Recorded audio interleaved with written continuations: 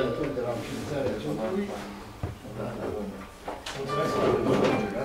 Eu, în primul rând, trebuie să spun pe directorul general, care n-a putut să vină la deschidere, fiind ocupat cu o întâlnire importantă, acum dar a venit puțin este poate o oră sau două ore în timpul desfășurării lucrării. Ne, ne bucur că s-a ajuns la cincea competiție, la cincea ediție acestei conferințe sau acestui seminar sau acestei mese rotunde. Uh, și ciudat este la această conferință este totuși titlul conferinței, Joc și cercetare. Pe foarte multă lume îi surprinde această asociere între jocul și cercetarea științifică.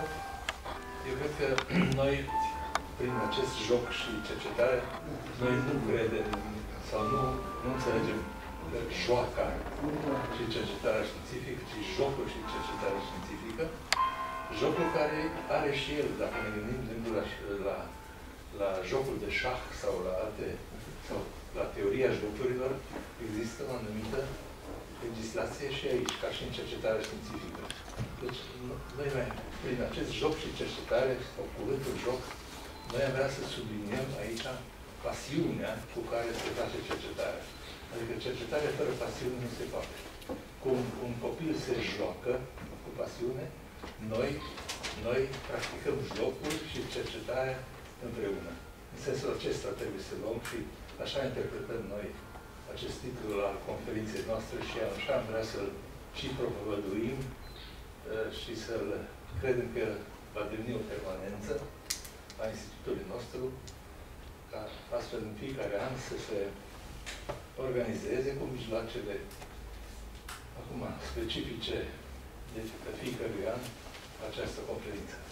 Este un merit mare că a reușit domnul Ignat să ne adune pe toți aici, în sala aceasta, la conferința care este, cred eu, deosebit de, de inspirată. Deosebit de inspirată dacă mă, dacă mă gândesc, la, dacă mă uit la program și mă gândesc la comunicările care se fac aici, nu știu, după masa rotundă sau înaintea mesei rotunde, dar oricum, deosebit de inspirate. Deosebit de inspirate. Și cred că eu am mai asistat la celelalte ediții, dar cu cea mai mare plăcere rămân aici și urez succes acestei conferințe, de data aceasta minuscule, dar care poate în anii următori se va dezvolta și va cuprinde o masă mult mai mare de participanți.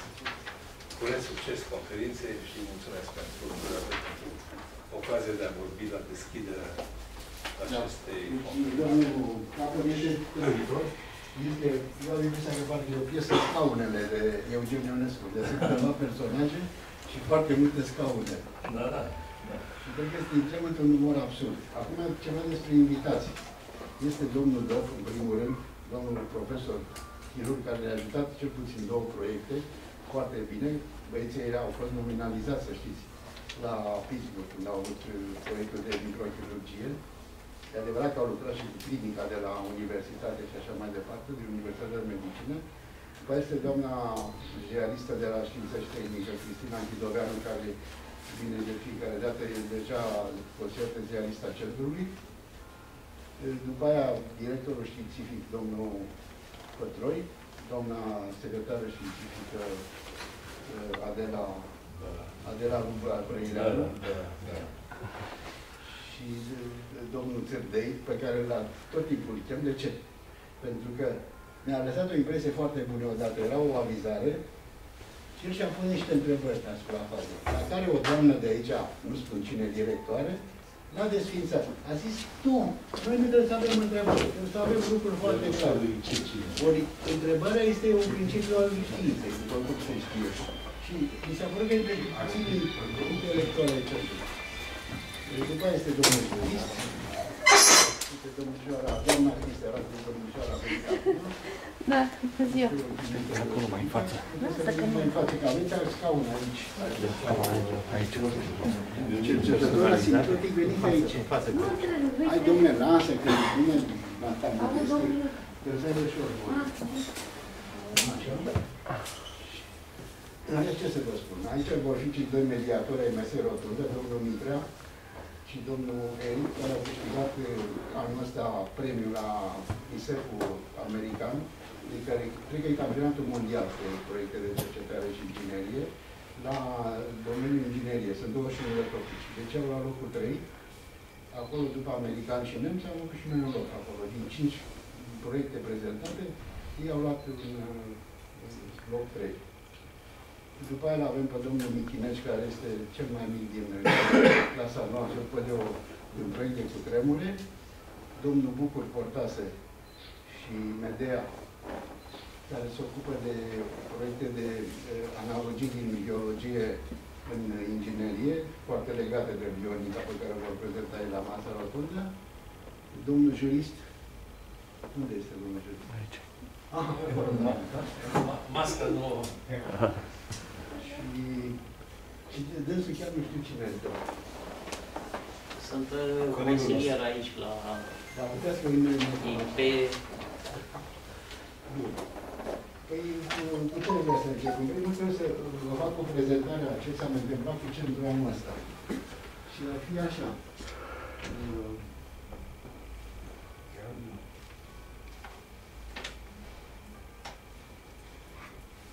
O să o iau așa și să vă spun la ce ce e vorba. Deci, cred că în momentul de față nu suntem departe de ce spunea uh, domnul Dostoevski pe la începutul secolului, da? Că vremurile noastre sunt vremea mediocrității, sunt convins de asta și ar trebui să facem un pas. Deci ses- sesiunea de astăzi este tocmai un exercițiu contra limbajului de lemn și a mentalității de lemn. De ce s-a, de asta am făcut joc și cercetare. Așa e. Domnul Rica, nu vrei tu să... Nu, nu, nu, care se poate să le povestesc, chiar dacă nu, nu, iar Dostoevski nu se poate. Dați-i pe mai, mai despre toată și dați-i pe tăia aia. Mai despre tot. Care este de Nu, nu, deschid. Asta? Da, da, nu, poza, mergeți pe poza. Păi da, dar m-am trecut de Dostoevski. Se face un an în Statele Unite, Dostoevski este un an la, la facultățile de filologie, deci iată, războiul rece se termină la literatură, artă și știință. Știți că la un moment dat Da. uh, ai, ai, ai, și asta cu Dostoevski. Știți că la un moment dat Feynman a vrut să se întâlnește cu Landau, m-ar fi zice. KGB-ul și serviciile secrete americane n-au fost de acord. Rămâne... Nu, nu, nu. Cred că ăsta este un film făcut de domnul Ștefan Rusu. Ast- Astăzi este un uh, domnul Ștefan Rusu care a câștigat cu acum 2 ani premiul la Phoenix pe senzor pentru nanosateliți. Este astăzi invitat, invitat. A fost înscris la o sesiune internațională de aerospațial la Comodi, o sesiune internațională pe proiecte de cercetare în domeniul aeronautic. Și este Zoom, trebuie să prezinte lucrarea la ora asta, dacă este motivat. Uh, Aici este unul din membrii noștri, domnul Florescu, care e la Cambridge și este, a fost și campion de dans aici în România, cu partenera lui, do- domnișoara Esca, ca să vă dau un secret, pe care a câștigat aici la Cambridge, a fost băgat imediat în echipa de dansuri sportive acolo și a câștigat eh, iarăși un premiu foarte bun în Londra. Dar nu e mult mai tânăr decât doamna Esca, așa? Nu, băieții de aceeași vârstă. El a avut și o, o dramatică sentință sentimentală când domnișoara Isca, nu cu domnișoara Isca, cu fata, nu cu doamna. Cu tot Esca. Aici, vreau să vă spun că, înțeles că știți, tot centrul ăsta primește iluzia de, sau nu iluzia, sper chiar să fie realitate până la urmă, de a avea elite. Ei, am ales aici două elite, îi recunoașteți, nu? Este Eliade și Cucioran, da? Cioran, secretarul de serviciu, scepticul de serviciu al Europei, și Mircea Eliade, care e prima catedră de istoria religiilor în SUA și membru al Academiei Franceze. Unde s-a născut Cioran? Cioran s-a născut la Sibiu, la Rășinat. Rășinat. Și n-am mai pus din în țară, că azi că îi face așa de rău să vadă din norocurile natale, că ar putea muri. Așa că n-am venit care Aici este o imagine pe care nu am mai întâlnit. A fost acum 2 ani, când încă mai erau sesiunile astea în SUA, e fotografii la Pittsburgh, cu unul din băieții de la chirurgie, Voicu, pe care i-a moșit domnul doctor Top.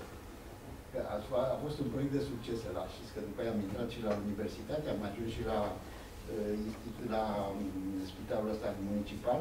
I-au făcut și puțină practică și după aia și-a imaginat jocurile alea de chirurgi.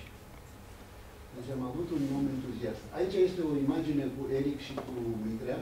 E o imagine care a mers pe, uh, la ISEF, pe toate canalele, când a fugit la locul 3, deci toți premiații au fost foarte bine publicitați. Ei erau aici o poză trimisă din România, dar care a figurat pe toate canalele astea de știință uh, americane. Pentru locul 3 care l-au obținut. Ei au fost oamenii anului, ca să zic așa. Aici este prima sesiune care am avut. Uitați-vă ce mulți eram. Cred că erau mai mult de 70 de oameni. Acolo puteți să vedeți pe domnul Popescu de la editura 3, editură de psihologie. Mai în stânga este domnul uh, doctor Ardelean, care e un, uh, cum să vă spun, colaborator de serviciu al nostru, doamna uh, Corina Megra de la Radio Cultural, doamna Brescu, care are școală particulară pentru copii, doamna, Crista, doamna Ghidoveanu Cristina, care este și acum aici și a fost și la prima ediție, uh, dintre participanți, mai dă următoarea poză. Așa, o poză din față cu domnul Ardelan, uh, domnul Poenaru, deci profesorul Poenaru de fizică, care ne-a transmis toată biografia lui uh, Proca. Deci în nu se numește Alexandru Proca, de la un mare fizician, să nu se confunde cu medicul Proca de rinichi. Nu, e diferență. Proca a fost aproape de premiul Nobel, cine nu știe, pe particule magnetice, lui s-a dat, a fost un scandal, el care era foarte bun prieten cu De Broglie, până la urmă, ca orice fizician bun, s-au certat. Și când s-a fost premiul Nobel, De Broglie n-a contat cu el, a contat cu un japonez. Japonez care recunoaște superioritatea lui Proca. Proca a murit de cancer după 2 ani de inimă rea. Yukawa. Yukawa, da. Yukawa foarte fair play, a zis, da, domnule, dar proca înaintea mea e. Bun. Aici este uh, o parte din copii, Ana Maria Tudorache, care și a fost premiată la Los Angeles, uh, lângă domnul Poenaru, în spate este chinezoica, atunci am avut și muzică. De data asta n-am vrut să aduc muzică, câți eram, suntem aici, nu mai are rost de spectacol. În schimb, am spus că, după invitațiile care le-am dat, am spus uh, bacanale. Ei, am făcut acolo o mică scenografie cu struguri și vinuri. Dacă vreți, putem și deschide vinurile după asta. Și Chinezoica ne-a cântat la, la pian, la pianul ăsta electronic, că nu dați la lucră de acasă. L-am supărat pe domnul Puzlaru, care ne-a spus, nu pot să mă concentrez, era muzică de Mozart. A zis, nu, un sfert de orată, dați 20 de minute. Nu, nu, nu, nu, nu pot să mă concentrez. În schimb, când aude manele tot timpul. Aici este păcat. Los Angeles, ăsta la care Ana Maria a câștigat și cu Miruna. Din păcate, anul ăsta a fost pandemia și nu s-a ajuns. În schimb, ei au făcut uh, concursul online, la care cei doi au câștigat cu trei, pe domeniul inginerii.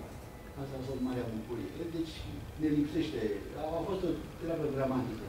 Faptul că, ca și cum ai pregăti o echipă și nu se mai ține turneul ăla. Și ei fierbeau. Deci toate echipele astea patru care s-au calificat, pregătite, vreau să dea, deci sunt foarte competitive, asta vreau să spun. Că dacă România ar avea măcar 5% din competitivitatea lor, ar fi cu 20% mai puternic. Cam așa este. Acum, asta e un film, trecem peste ăla, lui un, o altă echipe participante, se înseamnă, așa, trecem peste ăla, este finalul. Treceți, treceți. Nu mai are nimic. Nu e nimic. Deci asta a fost prezentarea. Sper că la anul să, să fie iarăși mai bine, deși eu sunt foarte sceptic că lucrurile vor merge bine. E teamă să nu fie asta un uh, cântec al... Uh, știți cum se zice? Prohod. E grav ce spun. Razele de știi? Ale din cismitiu negre care le vedeți acolo, răculetul la din știi, pe vodă. Așa, pentru că nu știu cum se vor da în plan, am fost anunțați că nu se știe dacă se va ține și mai mult ca sigur va fi online. Sper să... Unde la noi sau în Statele Unite? La Statele Unite, la Pittsburgh, la Statele Unite. Sunt trei centre în Statele Unite unde se au centre culturale foarte mari, unde încap cel puțin 4.000 de oameni, cu 1.500 de proiecte puse, vă dați seama, 21 de topici, și trebuie o organizare, care este foarte bună în Statele Unite. Eu, ca agenția, cunoscut aici în institut, sunt de partea lor. Domnul Capăr mi-a declarat agenția. Nu. Așa. Programul e așa. Ar trebui să avem o masă rotundă, moderată de către Eric și de către Mihai Mitrea, deci câștigătorii de anul ăsta, care se numește cercetarea în bionică. Așa că eu, a, înainte să începem, media va face, va spune două poezii dar artistice. Este rusoaica grupul, de ce să-i dai jos aia Nu, avei aia Tiara. frumoasă cu Rusia. Tot avem ca ea este rusoaică, după, eu așa zic rusoaica și italiană. Au o echipă de cercetare bionică acolo, deci de actuatori precând de la biologie, de la partea chiar vegetală și, nu știu și, nu acum n-am Ea și cu portasă, portasă italiană, bucur. Iar ei este rusoaică. Da, ea vrea să dea la jurist, eu sunt foarte uimit, da, bun. Să avutăm Kremlinul. Să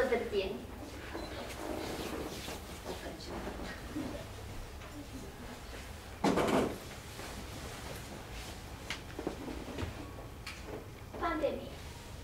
E clar ca lumina unui far sosiva clipa, lipa lipa, că vom da pe fruntea de pământ, supuzând cuvântul mormânt, pe care încep vom așeza o poezie. A fost cumva o pandemie. Și mi-e dor de tine, cercetare. Mi-e dor de tine. Ca unei beri de un pic de gheață, ca unei londre de un ceață, ca unui do de o cântăreață, ca unui mor de o leacă viață, ca unui an de un pic de ață, ca unei cărți de o prefață. Și iarăși, pentru a câta oară, mi dor de tine, cercetare, ca unui eschimos de o portocală, ca unei pușcării de o hoață, ca unui mic scandal de o țață, ca unui tren de o mică gară, ca unui pepene de o vară, ca unui pesimist de o cioară, ca unui azi de dinioară. E dor de tine cercetare. Mulțumesc! Surprinzător, e într-o clasă de fizică, a fost și olimpică la fizică, dar vrea să dea acum la jurnalism la Harvard, unde? La Princeton sau la... Harvard. Harvard, da, așa, acolo parcă îi spune de Bacău sau de Mișoara. și are talente, sigur, ca orice rusoaică, știți, cinematografia rusăscă, teatrul rusesc. Bun.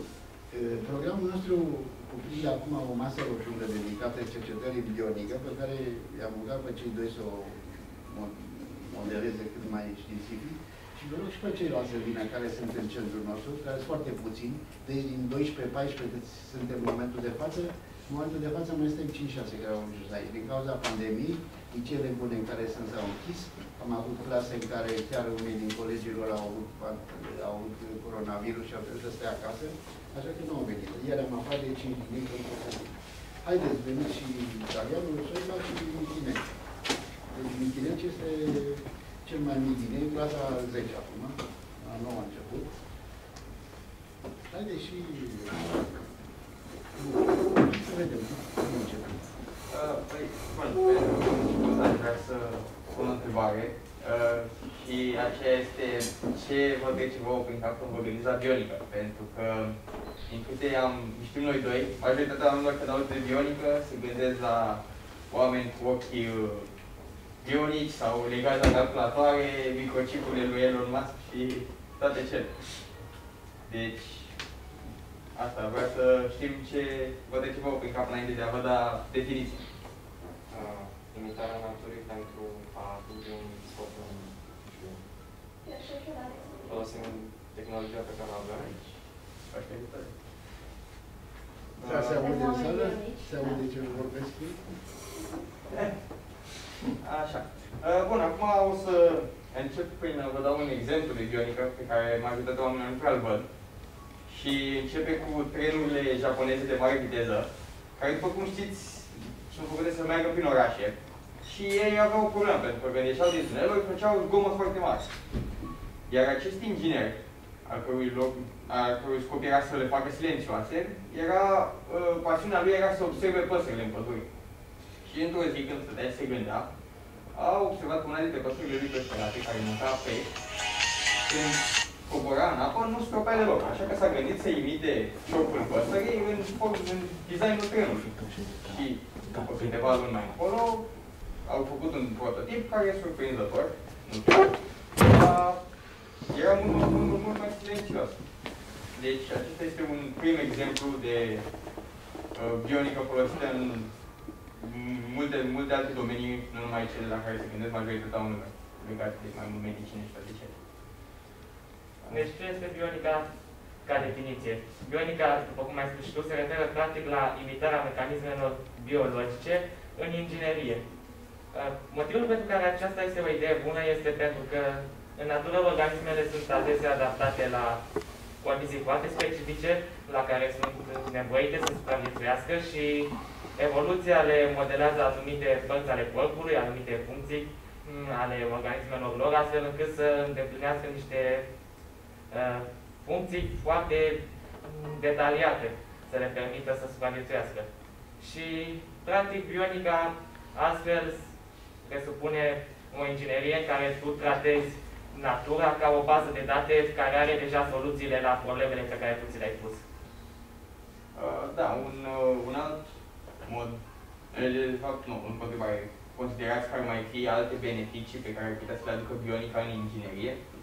Ia domnul Iechine, ce câțiva tânăr de aici. Ce trece prin cap când auzi întrebarea asta? Nu mă pot gândi la alt uh, lucru pe care l-ar putea aduce în afară de cel pe care l-am menționat. Da, am impresia că noi în timp așa pierdem și din imaginație. După pandemia asta și în general așa. Uh, da, de exemplu, considerați că timpul pe care l-am petrece uh, făcând un design propriu care cel mai probabil ar ajunge să imite natura, ar putea fi câștigat prin observarea naturii și implementarea în inginerie astfel? Da. Da. Vrei să spui ceva? Sigur că nu e bionică. Exact. Uh, Deci ei vreau să spun că am reușit să facem o chestie care nu, nu credeam, că bătut acum 5 ani reușeam să fac. A fost mersul furnici, care a ieșit foarte bine. Am luat senzorul piezo și am pus furnicile să meargă. A fost frumos, cu astea am mers bine. Și am reușit să obținem pe osciloscop după aia, care e foarte sensibil, mersul furnicii. După care Mitre a făcut uh, funcția de interpolare prin metoda Laplace și a dat un uh, polinom de gradul 20. Deci cu cât e gradul mai mare, cu atât interpolarea e mai aproape. Păi, după ce faci modelul și ai modelarea matematică, experimentul nu mai nevoie de prea multe. Deci joci numai cu modelarea matematică. Asta e un sens al științei. Și eu ajung la asta. Pe semne că asta a impresionat Giurgiu de acolo din SUA, pentru că au avut și o modelare matematică cu o funcție foarte de Laplace. Mai rău a fost cu lăcusta, pentru că lăcusta asta pusă acolo sărea tot timpul. Domnul Mitra nu e obișnuit cu asta, el e teoretician, cine sărea în cap, laborator. El e experimentalist, el aduce insectele și ecologic le lasă aici, în iarba din fața institutului, imediat după ce terminăm experimentele, nu le omorâm, le lăsăm. Am luat legătura cu Institutul de Farmacie, cu domnul, cum îl chema? uh, Murat. Murat, da. Este și el turc de origine. Și omul ne-a spus, știți că nu se mai șobolănei și pe astea nu se mai fac uh, experimente. Lumea acum luptă, nu se mai sacrifică. Și a zis, da, pe insecte se poate face. Și atunci, acum suntem în situația în care încercăm să vedem dacă medicamentele alea date insectelor pot să, să influențeze, în sensul că dinamica lor s-ar putea să fie influențată de ce iau sau ce nu iau, știți? Și ar fi o observație bună. Asta e faza de acum. Așa că ei sunt legați de, de această bionică foarte mult. Bionica nu e acum chestie nouă. Eu știu că în 60, când eram elev, se vorbeau de submarine care erau modelul delfinului și așa mai departe. Deci știința știință de atunci. domnul Cortase, care e foarte aproape de bionică, el e un biolog, de o clasă specială de biologie și olimpică biologie la Mihai Viteadu. Uh, A, a făcut un studiu la niște chestii vegetale. Polipodium aureum. Da. Mai spune o dată că... Sporangele de Polipodium aureum. Și Și de acolo am plecat la niște actuatori microfluidici, care merg până la nivel de centinewton. Forțe, deplasările de micrometri, mi-am făcut și un ștam de acolo de măsurat și cu asta ne vom prezenta. Ia spune din experiența ta despre bionic, așa, cam ce vezi mai mult decât s-a dus aici. Uh, altfel, eu mai știu, adică ați zis dumneavoastră de uh, ceea ce de acum uh, jumătate de, uh, de acum câteva decenii, câteva Acum 100 de ani. Păi, da, și Leonardo da Vinci studia păsările și la fel făcea model de aero, aeroplane. Dar uh, știu că există și în, uh, nu mai știu, prin Zimbabwe, este o clădire care nu folosește aer condiționat pentru că este modelată după mușurorul de termite. Și doar trece aerul prin ea și o răcește așa. Sau, uh, nu știu, uh, așa și noi avem proiectul ăsta și vrem uh, scopul final ar fi să facem un fel de material pe care să-l putem pune în țesutul uh, uh, oamenilor care au fost paralizați ca să le readucem mobilitatea, eventual.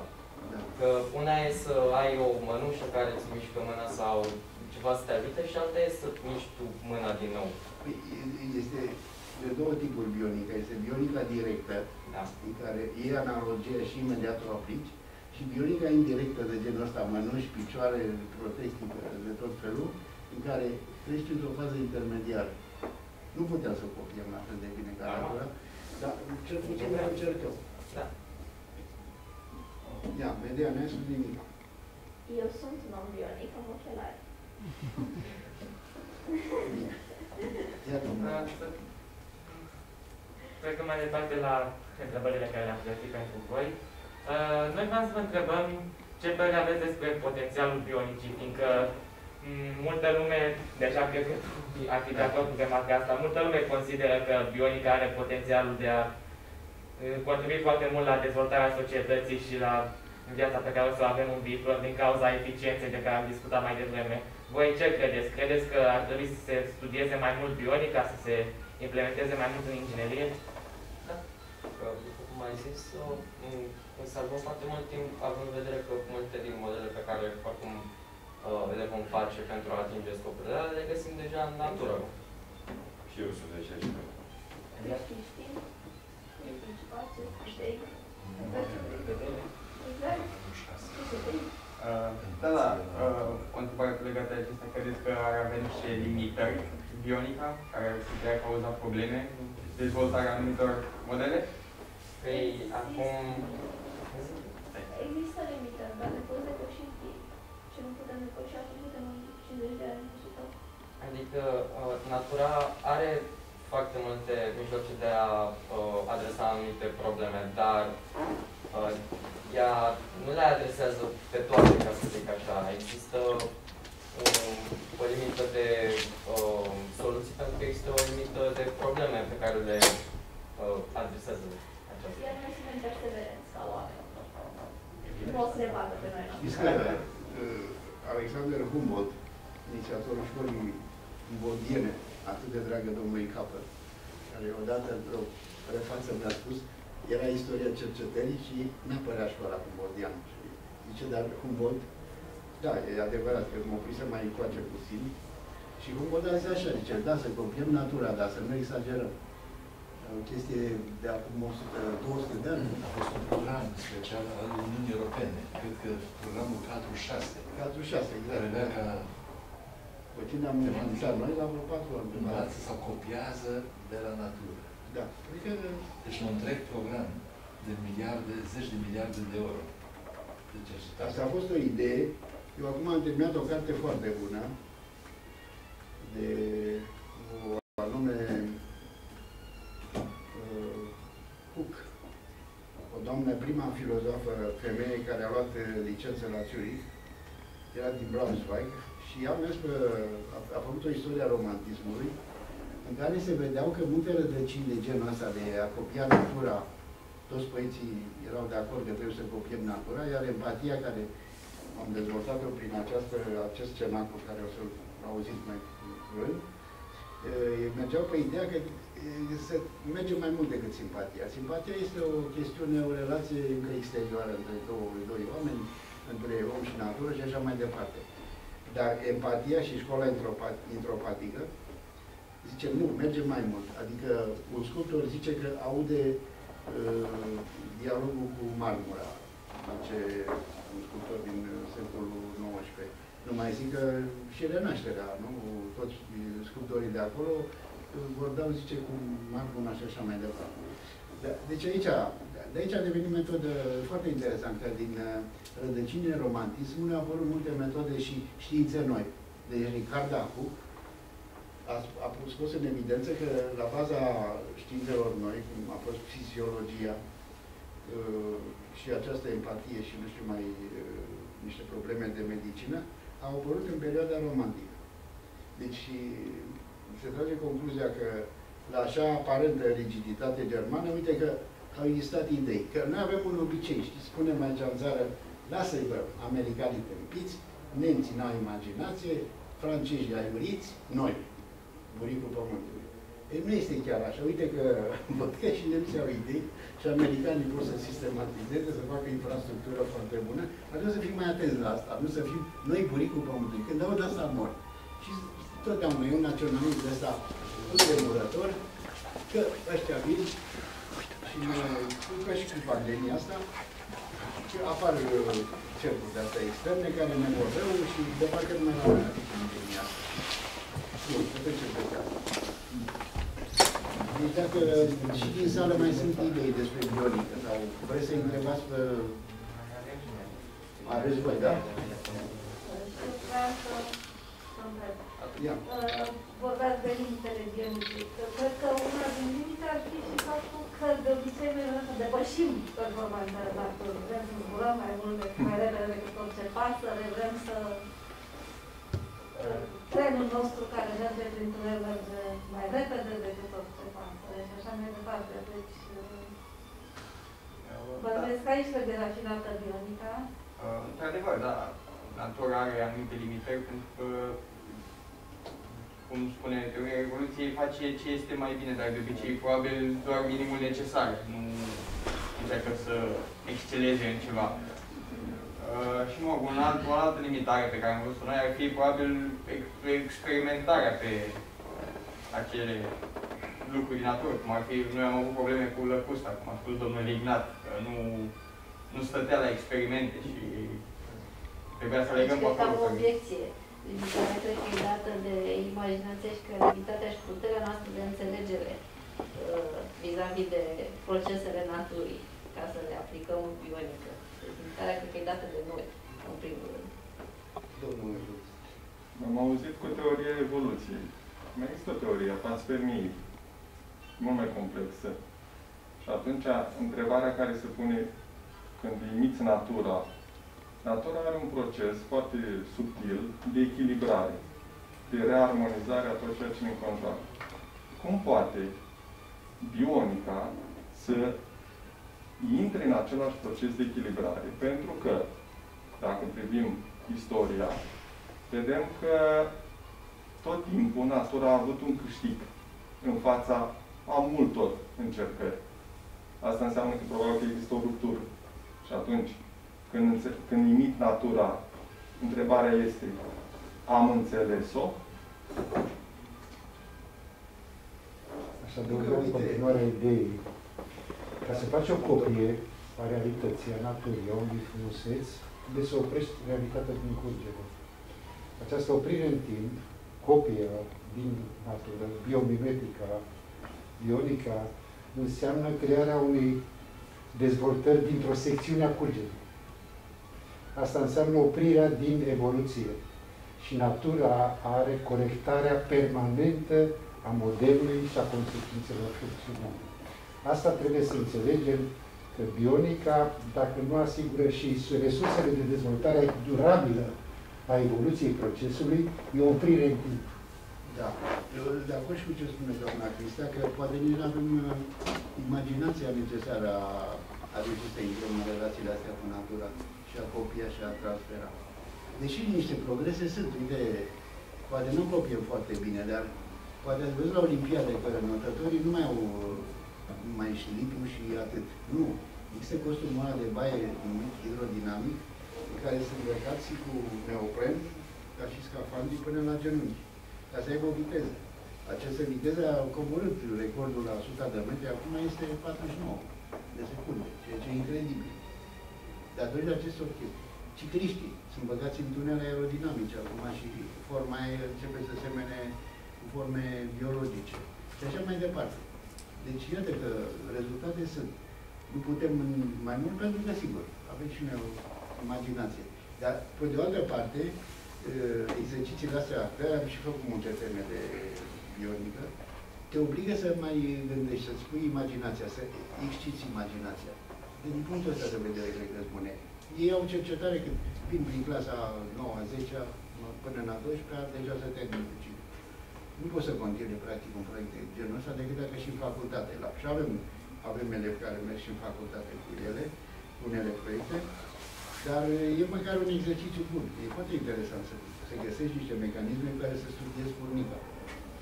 Ideile au fost și ale lor, să facem tunele de alea cu senzor piezo și am găsit că sensibilitatea cu metode care le avem. Nu trebuie să zicem, băi, numai acolo se face.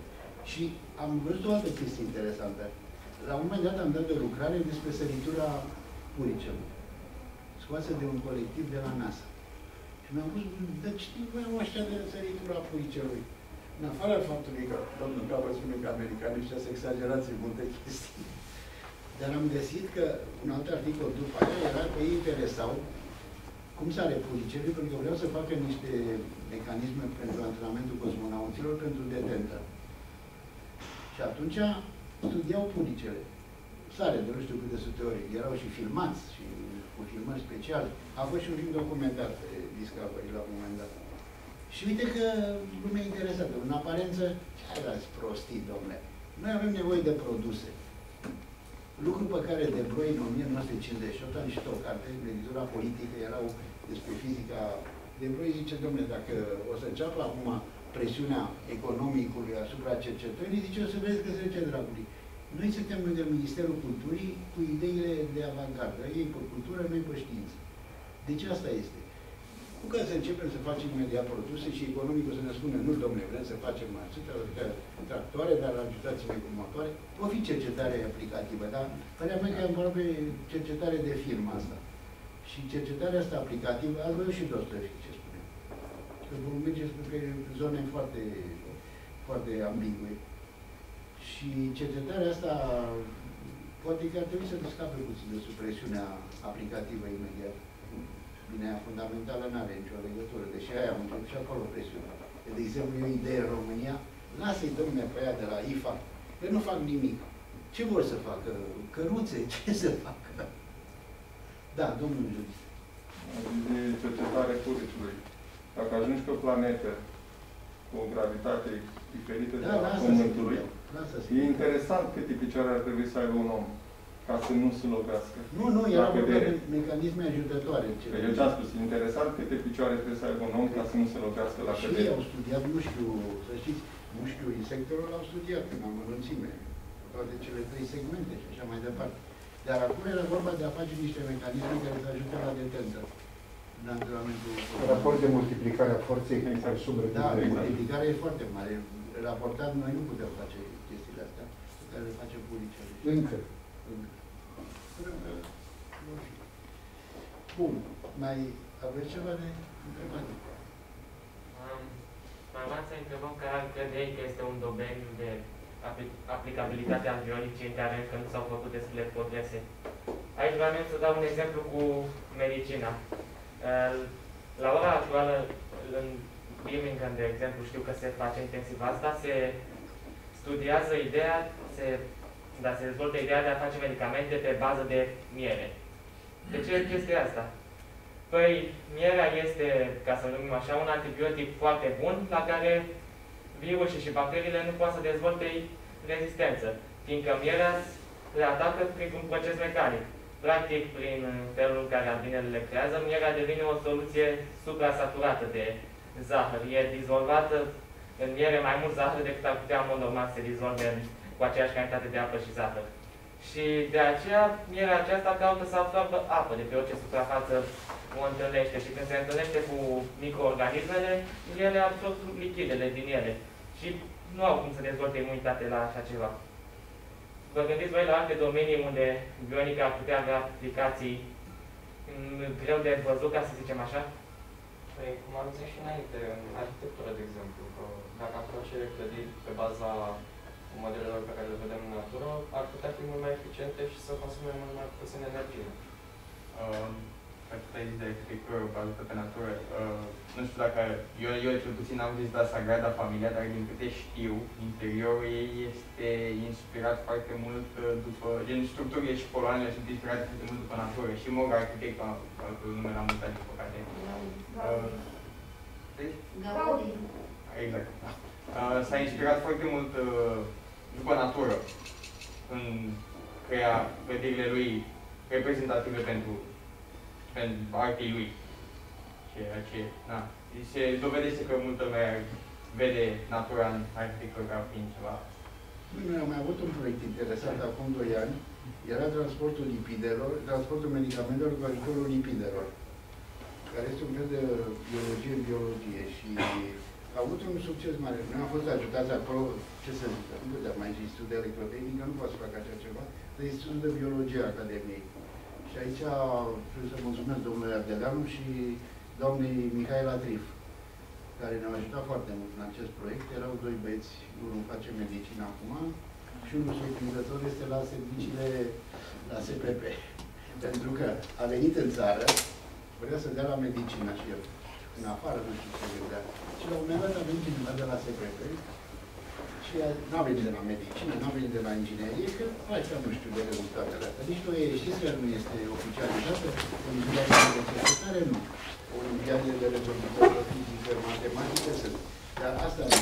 Deci este limba chirchiză, este oficializată. Limba rusă, limba macedoneană, dacă te duci la facultate, este oficializată. Asta nu, deși cea mai mare competiție din lume. Bun.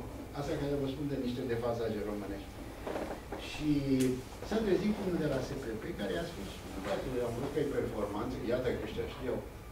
Deci știi limba engleză, informatică, intre la Academia Tehnică Militară, noi îți asigurăm un salariu în plus față de bursa aia care o să iei din Academia Tehnică și alege unul din uh, uh, facultățile de acolo, ori informatică, ori uh, era un nebunist de geniu, de chestia asta cu explozibile.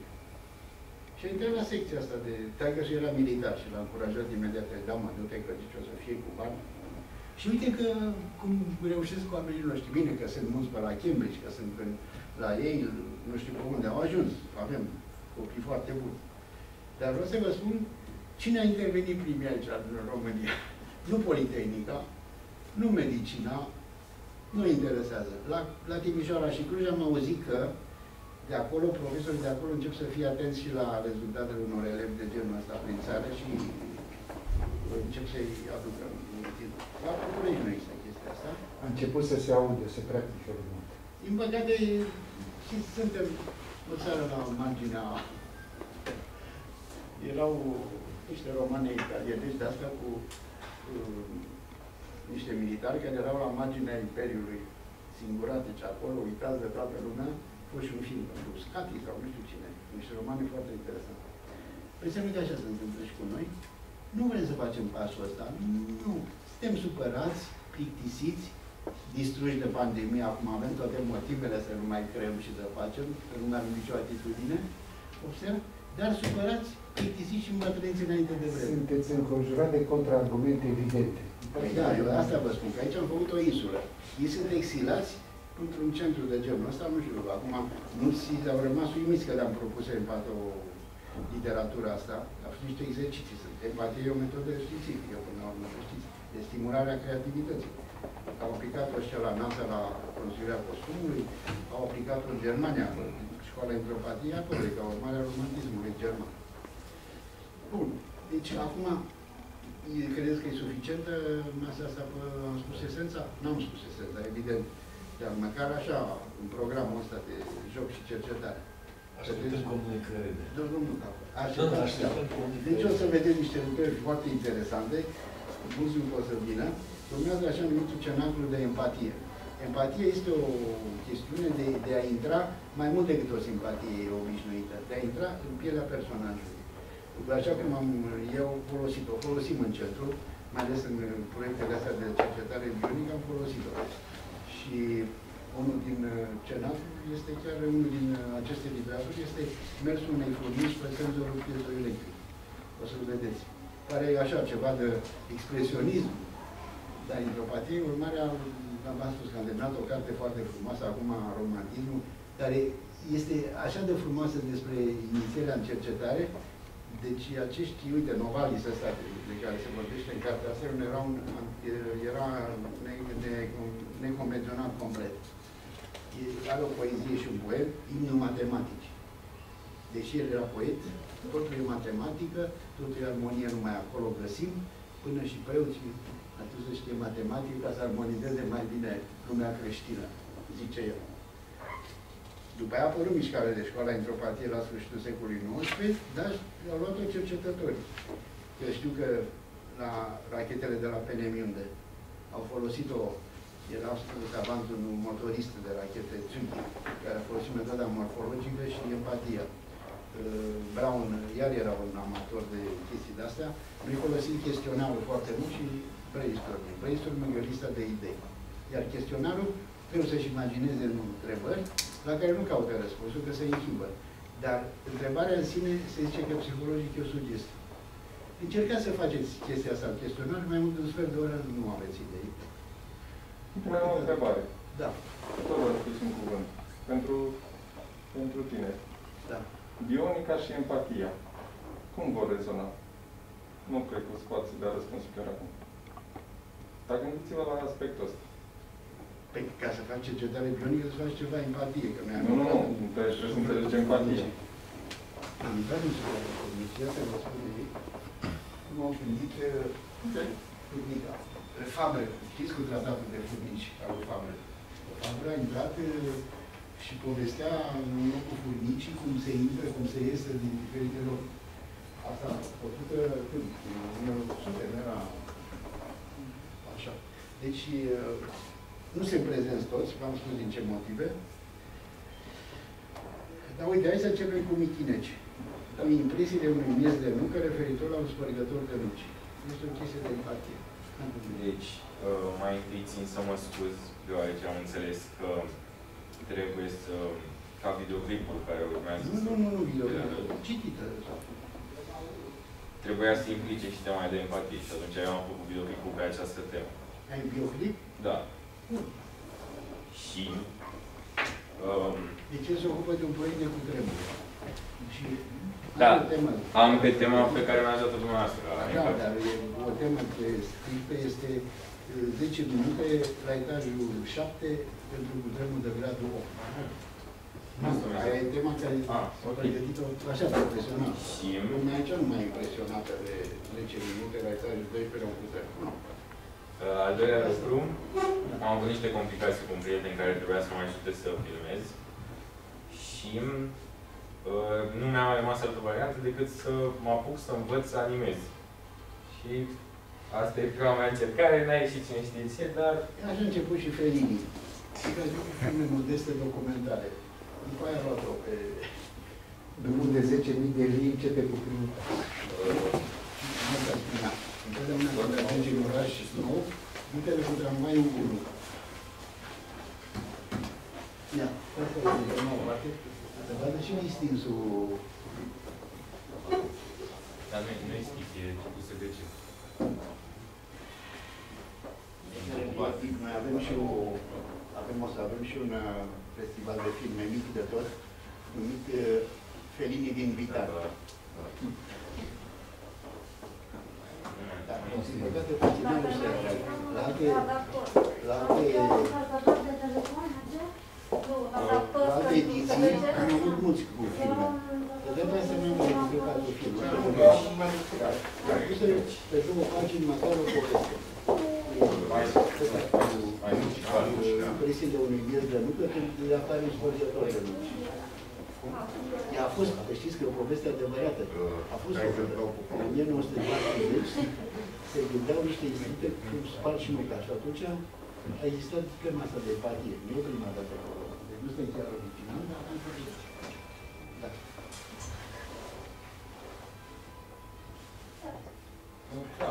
Da, da, da.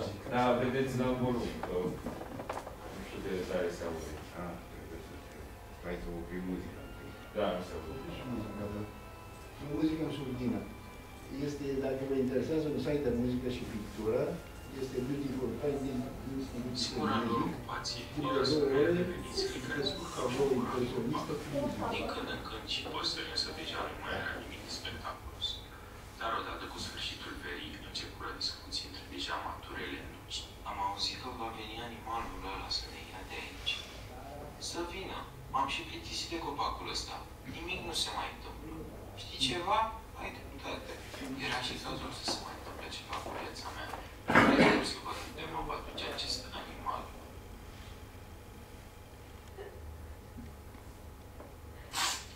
Nu să mor încă. Mi-am trăit încă viața. Nu se poate să fie asta tot. Tot ce se va întâmpla în existența mea. Sunt o nucă, dar asta nu înseamnă că voi muri așa. Și animalul acesta, de ce ne omoară? Ce are el de câștigat din asta? Nu se gândește la noi, la visele noastre? Nu a murit sau sunt în rai? Ce seamănă lumea reală cu raiul ăsta al nucilor? Doamne, îți mulțumesc că nu m-ai lăsat omorât de om. Mă simt liber. Simt că aș putea face orice.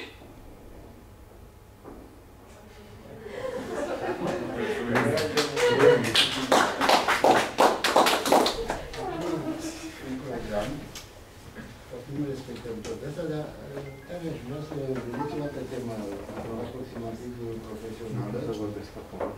Aia cu alergând cu un cuțit după colegul de clasă, o lăsăm mai târziu. Expresionistă, vremea de filmele lui Murnau. Dar acum aș vrea să, domnul Eric, aia îmi place cu uh, o furnică pe senzorul pietrei electrice. Uitați, pe tema asta noi am vrea să punem și filmul nostru de anul trecut, fiindcă are practic aceeași temă. Bun. Da, pe tot Mai anul era? același film. Nu, anul trecut ei au avut o temă uh, insecte, gânda, metamorfoza după me- metamorfoza după Mai am Kafka. partea asta. Am zis, haideți să faceți un film în care un cercetător se trezește gândac și la un moment dat e călcat din greșeală. Știți uh, novela lui Kafka? Un om se trezește gândac, exact când uh, sorța trebuie să căsătorească, părinții ei îl țin în camera aia să n-apară cum să spui că ai un cumnat gândac, viitorul ginere. Ca până la urmă să-l calce unul din părinți. El, săracul, mergea, a fost un film franțuzesc, care totul era la pardoseală, mersul unui gândac. Sorsa era nebunită, cum să-și prezinte fratele viitorului soț. Și îl țineau ascuns acolo. Bun. Și într-o zi, cineva intră în cameră, unul din părinți se pare și îl calcă. Așa se termină metamorfoza lui Kafka. Și am vrut să văd ce, ce pot să scoate ei. Pentru că nu scoate cu nimic. Cum? E o novelă foarte... Uitați-vă. Dacă nu termin tema numai în seara asta, mă fac în prag, nu știu ce fac.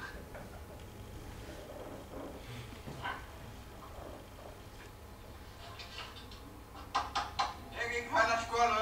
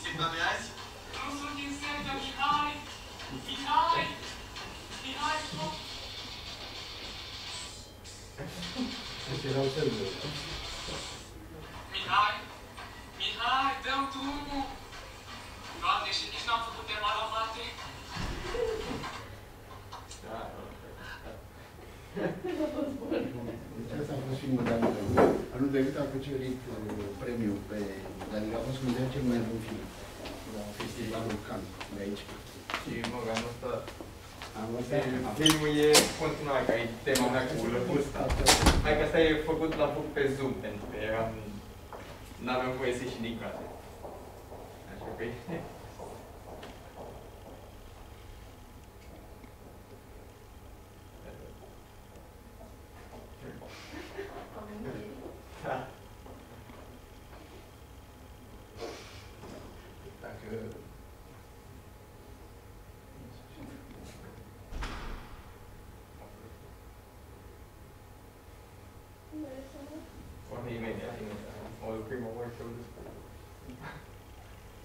El a avut coronavirus, atenție. Băiatul care vedeți acum 3-4 luni a avut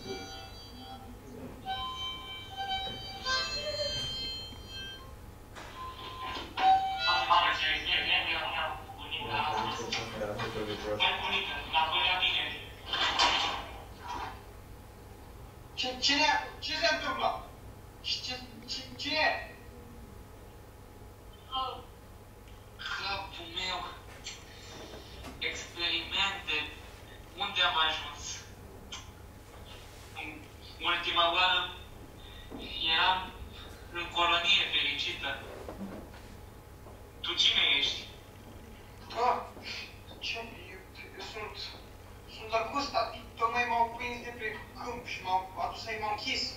Uh, nu știu ce se întâmplă. Ce, ce, de ce suntem închis? Ce sunt închis aici? Și ce, ce-i cu noi?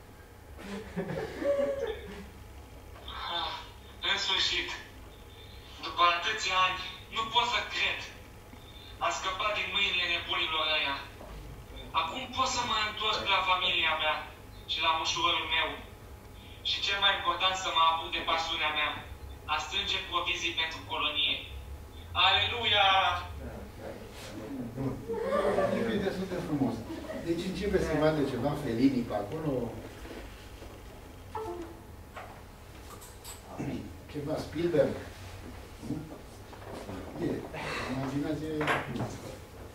Mie mi-a plăcut, nu e prima de că văd și mi se pare interesant. Deci astea sunt contribuțiile pe Empato, da? Da, da. Dați formă de film. Uh, asta am putut să facem prin Zoom. Bun. Ia, domnișoara Medea, ia spune cum contribuția dumneavoastră. Contribuția domnișoarei Medea este o pasăre colibri invitat.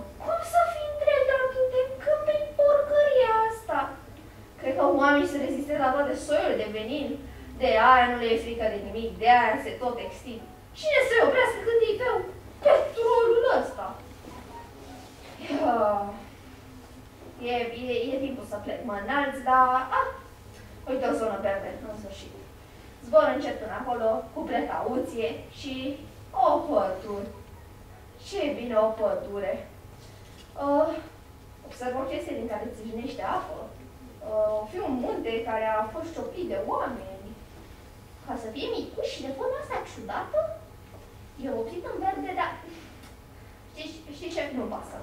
Sigur e apă bună și proaspătă. Ai, cam rece, dar măcar o pot înghiți. Ce, ce munte curios. Apa asta pare un gust aromantă, dar măcar e mai acceptabilă. Uh, de ce beau? Niște oameni se apropie, dar păstrează o distanță respectabilă. Ok, oamenii sunt politicoși, ce drăguți. Iar după ce beau, mă urc în un copac. Voi păstra și eu de asemenea o distanță respectabilă pentru ca ei să se adapte în pace. Și au scos niște chițibușuri micuțe și le pun în față și le îndreaptă spre mine? Ah, poate mă pot apropia să văd și eu ce sunt aceste chițibușuri. Ei, cum, ei par mult mai prietenoși ca celălalt, așa că mă apropii de capul unuia și privesc în acea chestiune. Și văd exact ce aș vedea dacă m-aș uita la acel ceva fără chestiunea aceea. Un copac frumos. Doamne, ce ciudați oamenii ăștia. Oamenii par încântați de prezența mea, încercând să comunice cu mine. Scot niște sunete fascinante, le lent. Dar, din păcate, tot nu-i pot înțelege. Sunteți drăguți? Îmi puteți spune unde este vremea caldă? Vremea caldă! Cald! Încerc să întreb pe oameni, dar văd că nu se prea... Oh, un pic de om! Ah, cred că mă înțelege! Acesta este în fața mea și arată spre un anumit sens, iar spre ce din spatele meu! Oh, mulțumesc! Pui de om, mulțumesc! Acesta scoate niște sunete chiar drăgăleșe, iar eu trebuie să le spun adio acestor oameni. Chiar drăguț de altfel. O zi bună! Eu plec! Mi-a făcut plăcere! Ah, spor spre sensul de mi-a arătat de om și... Ah, o floare. Debiesc cam cât trei copaci și mă plec să gust floarea. Mereu e timp de o gustare dulce. Ah, eu mai rău. Asta e mănâncă că ajung acasă. Zbor în sus, trec de nord, lăsând acest stol în pace. Poate nu sunt oamenii așa de deștepți, dar mm, mă voi gândi la, pe drum la acest dar. Și, sincer, sper să nu mă mai întorc, dar dacă nu mai rătăcesc chiar, voi revedea această, această rocă albastră peste apă. O vrei și o vedea. Este undeva venită de la școala lui Tarkovski, nu? Hai se întâmplă să plec Adică, culmea, în clasa de fizică, e, olimpiad, e olimpică pe fizică, dar vrea să dea la ziaristică, la jurnalistică. Eu, pentru mine, nu mai zic că ei, unde gândesc că vor să dea? Contabil, Nu se fac că eu le zic contabili. Vor să dea la... Cum? Am aplicat la și la medicină în Olanda. Care ești la medicină în Olanda. Acum a schimbat-o, m-a supărat odată la... Am chemat la televiziune, la unde? La Speranța, sau nu știu. Da. Și el dă acolo o treflă, când întreabă reporterul, zice, și ce vrei să faci? Păi vreau să fac școală de afaceri, după ce ne-am povestit de insecte și de cercetare, ce la școală de afaceri să devin economist și el cam la fel. Și zic, băi, dar chiar așa, mă, ca un ai de afaceri de baftă acolo. Haideți, schimbați. Acum am schimbat-o. Cred că din politețe față de mine. Da? Tot după bani o să alerge. Acum domnul Portase, italianul echipei, ia să vedem. Ce puteți să mai scoate din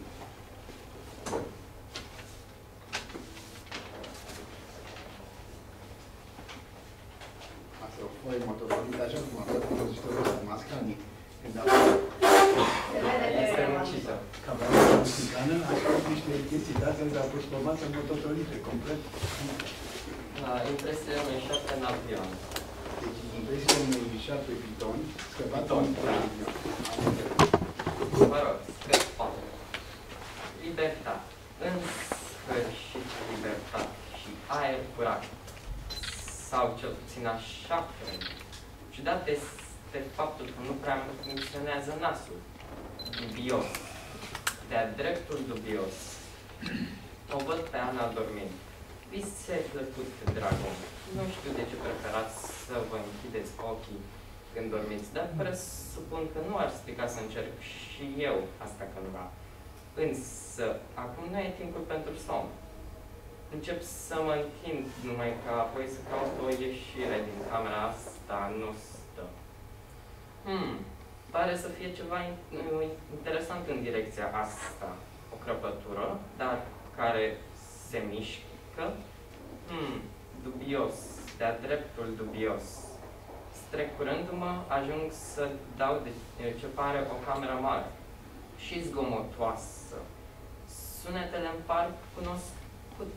Ah, desigur, sunt alți oameni. Primate fără păr. Eu prefer solzi, dar acum și ei, niște ciudați. Oh, ce-a fost și asta?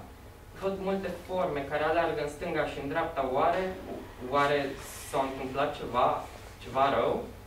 Oricum nu e problema mea.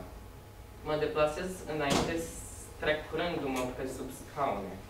Tare ciudat că oamenii de pe partea asta au plecat. O fi foame sau ceva.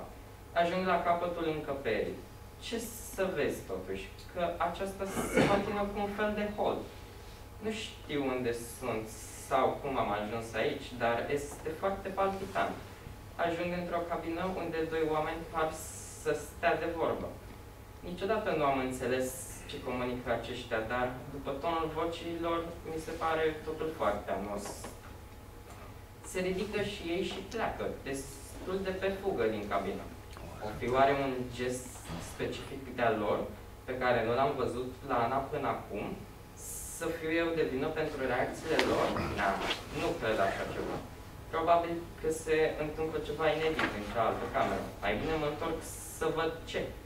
Ieșind din cabină, o femeie își împinge puiul către mine în timp ce fuge. Ce specimen interesant! Păcat că am mâncat deja alalte. Încerc să trec pe lângă el, dar surpriză. Sugarul mă prinde de cap. Mă dă cu capul de scaunul din stânga și gen din dreapta. Mă gândesc să-l apuc și să-l învăț o lecție pe mucos. Mă răsucesc în jurul lui ca să-l bag puțin în sperieți. O, oh, dar ce se întâmplă? Dintr-o dată sunt ridicat de o forță ciudată. Ia stai puțin. Mirosul, mirosul ăsta mi este cunoscut.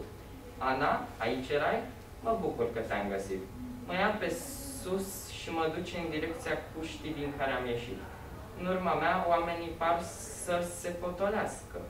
Să fi fost eu sursa panicilor? Oare s-au speriat de mine? Hmm, dar Ana nu pare speriată. Dubios. De-a dreptul dubios.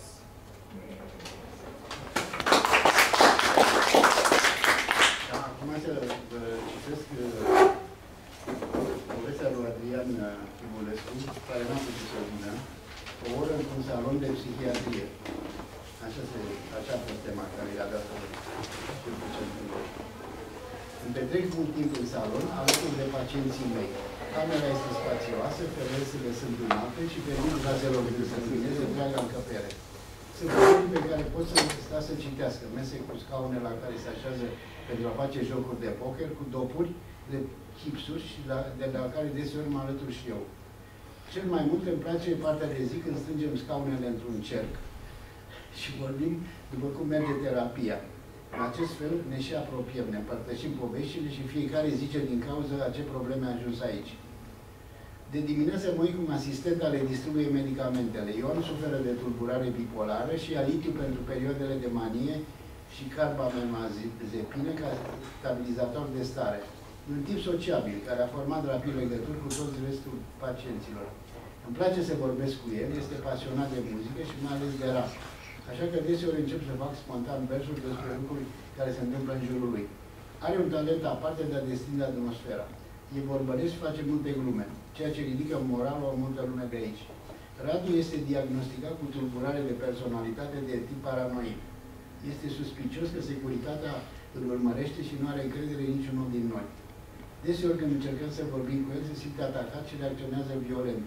Așa că în afară de mine, nimeni nu interacționează mult cu el decât atunci când împărtășește idei despre cum este urmărit și încearcă să se ascundă.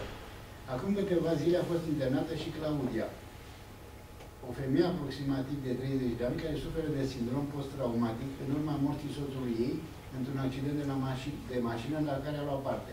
A căpătat iluzii care îi dau impresia că ar putea să zboare, dar puterea ei funcționează numai când cineva este în pericol. Este monitorizată mai atent de restul pacienților, iar medicamentația ei presupune antidepresivul Prozac. De când am ajuns aici, mi-am pierdut o mare parte din timp stând cu ea, încercând să fiu o persoană de încredere pentru ea, care este alături de ea după această tragedie și care, cu care poate vorbi în momentele de luciditate. Unul din cauzele, cazurile rare din spital este David. E unul din puținii bărbați care suferă de anorexie severă și de asemenea este unul din puținii pacienți care s-au autointernat.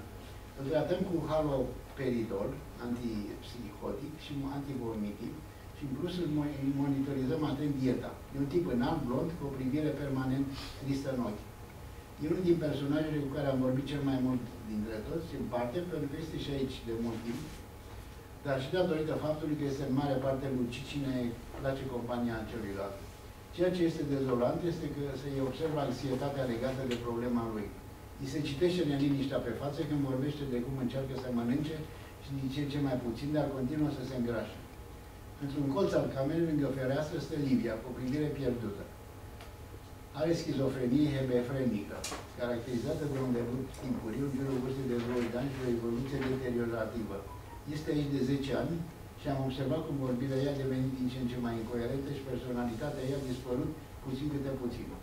Am văzut cum de la tânără obișnuită a devenit apare ruptă de realitate cu halucinații și deliruri frecvente, demotivate și incapabile să simtă emoții sau măcar plăcere. Primele semne au apărut în timpul facultății, studia medicina, iar semnele incipiente ale bolii au fost remarcate de mama ei, care a dus-o la un consult unde și-a aflat diagnosticul sfârșitor. Când încă era în faza incipientă a bolii, ne-a împărtășit visul ei de a deveni medic, de a ajuta oamenii. Dorea să fie genul de doctor implicat, să formeze conexiuni cu pacienții, să le inspire încredere și, bineînțeles, să-i vindece. Când vorbea despre asta, avea o anumită scripire în ochi pe care și-o pierdea de fiecare dată când revenea cu picioarele pe pământ și le zicea unde se află, ceea ce îmi plângea mereu sufletul. Acum că s-a întunecat ca în fiecare zi, colegul meu, doctorul Tudose, însoțit de o asistentă, vine spre mine și îmi dă somnifer și mă îndrumă spre camera mea, unde mă culc. Timpul a trecut așa de rapid, sunt aici, s-a simțit de parcă ar fi fost o oră. Deci, băiatul ăsta împreună cu domnișoara Eva au o temă despre actuatorii bazați pe electro, electroliză. Și sunt într-o clasă, el e într-o clasă specială, ei e într-o clasă de fizică. Și mi s-a părut deosebit. Mi se pare că un doctor Tudose a fost psihiatru. Profesor. A existat. A murit acum câțiva ani. Nu știu, îl cunoștea, nu-l cunoștea, asta mi-a trimis-o. Fiind pandemic, n-a putut să vină el. O altă temă interesantă pe care am dat-o expre a fost lui Alexandru Mihai, care e la liceul Tudor Vianu. E un tip care pare retras. E olimpic de chimie, a ajuns în faza apățară, a fost și în loc olimpic. De, acum e un exod. Încep să vină rezolvitor de, de la Olimpiadele astea de fizică chimie spre noi, care vor să încerce și experiența asta de cercetare, care e foarte interesantă, așa, din punct de vedere psihologic. Deci, e vor mai mult. Rezolvitorii de probleme și olimpiadele de fizică, matematică, chimie, astea care spun acum, și pe gândire convergentă. Au datele, formulele și vor să rezolve ceva. Astea care sunt de cercetare sunt divergente. Adică ne apropie de nebunii de cercetători, cum spune domnul Mitra. Lui am dat o temă foarte interesantă, alergând cu un cuțit după colegul meu de clasă. Deci era pașnic, zic, ia să vedem ce poate să scoate din asta. Eu o citesc. E prima citire, așa că... Într-adevăr, ideea mea era genială, însă chiar nu mă imaginam că va fi atât de atractivă pentru lumea din jurul meu. Înconjurat de zeci de oameni, cu o sete neostenită, alergam nonșalant cu cuțit după colegul meu de bancă, având un obiectiv clar în minte. Aveam nevoie să-mi stăpânesc neliniște, o neliniște ce a fost de cu câteva ore înainte, o neliniște a unei crize interioare ce mă măcina și care continua până acum. Eram cuprins de un sentiment de veselie pătrunzător în acele momente, pentru că, într-adevăr, contextul în care mă aflam îmi impunea această stare. Să zâmbesc și să mă bucur de reacțiile celor din jurul meu. Cu toate acestea, dimineața nu a fost cu nimic diferită de orice altă dimineață, trezitul la ora 6 fix, urmate de meticuloasa rutină matinală. Micul dejun la 6 și 10, urmat de pregătirea pentru plecarea la liceu și întotdeauna dura 8 minute, de 6.20, 6.28, pentru a fi cel că la 6.30 păstresc dincolo de pragul casei. O rutină psihotică ar putea afirma unii, eu i-aș zice mai degrabă o banală obișnuință. Am simțit însă că ceva era diferit în acea zi, un lucru bizar de care îmi putea da seama, îmi putea da seama imediat și care urma să mă tulbure pentru o mare parte din zi. Așteptând tramvaiul, am realizat că trebuie să fac pachetul de mâncare, pentru că îl lăsasem neîmpachetat. Tramvaiul se lăsa așteptat în acea dimineață, de 5 octombrie, dar nu eram impresionat, pentru că în urmă cu câteva zile auzisem că un tramvai 10 îi se desprinsese pantograful și blocase întreaga șină pentru minute bune. Cine știe, poate nu sunt singur care respectă o rutină neobișnuită. Cu mare surprindere reușesc să ajung în avans la liceu, în moment numai potrivit să mănânc un sandwich pe care nu-l aveam. Nemulțumirea mea a fost în scurt timp spulberată de aflarea unei vești cu tremurătoare. În acea zi trebuia să prezentăm un proiect pe care am încercat să-l ignor pentru mult timp, ceea ce se pare că am și reușit. Nervos și neliniștit, mă repet asupra colegului meu de bancă pentru a cere un pix. M-am cufundat astfel în idei care m-ar putea fi putut salva, ignorând că tot, cu totul uh, ora se desfășura în clasă. Mă detașam ușor de propriul corp, sub stresul general, de propria mea ignoranță. Gândurile mele se adâncesc din ce în ce mai mult, însă mintea pare să nu elaboreze nimic concret.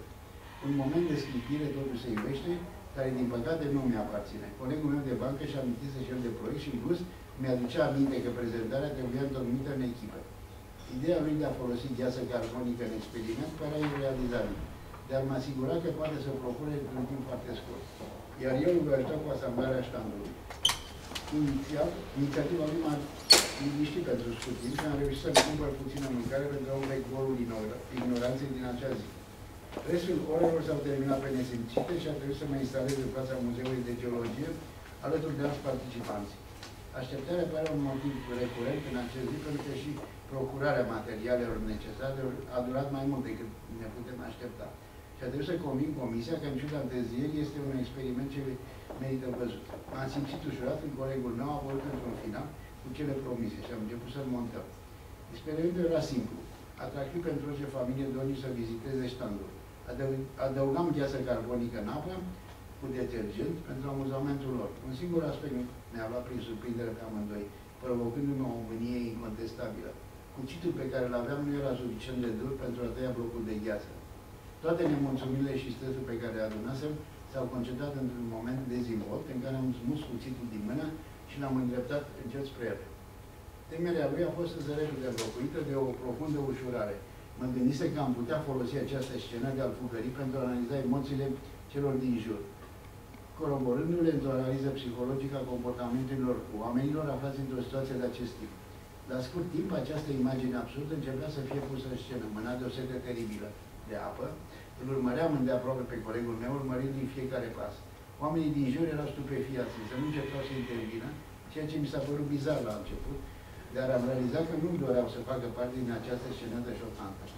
Eram mulțumit nu numai pentru că realizasem un proiect în ciuda circunstanțelor și proprii mele ignoranțe, dar pentru că oamenii chiar participau activ.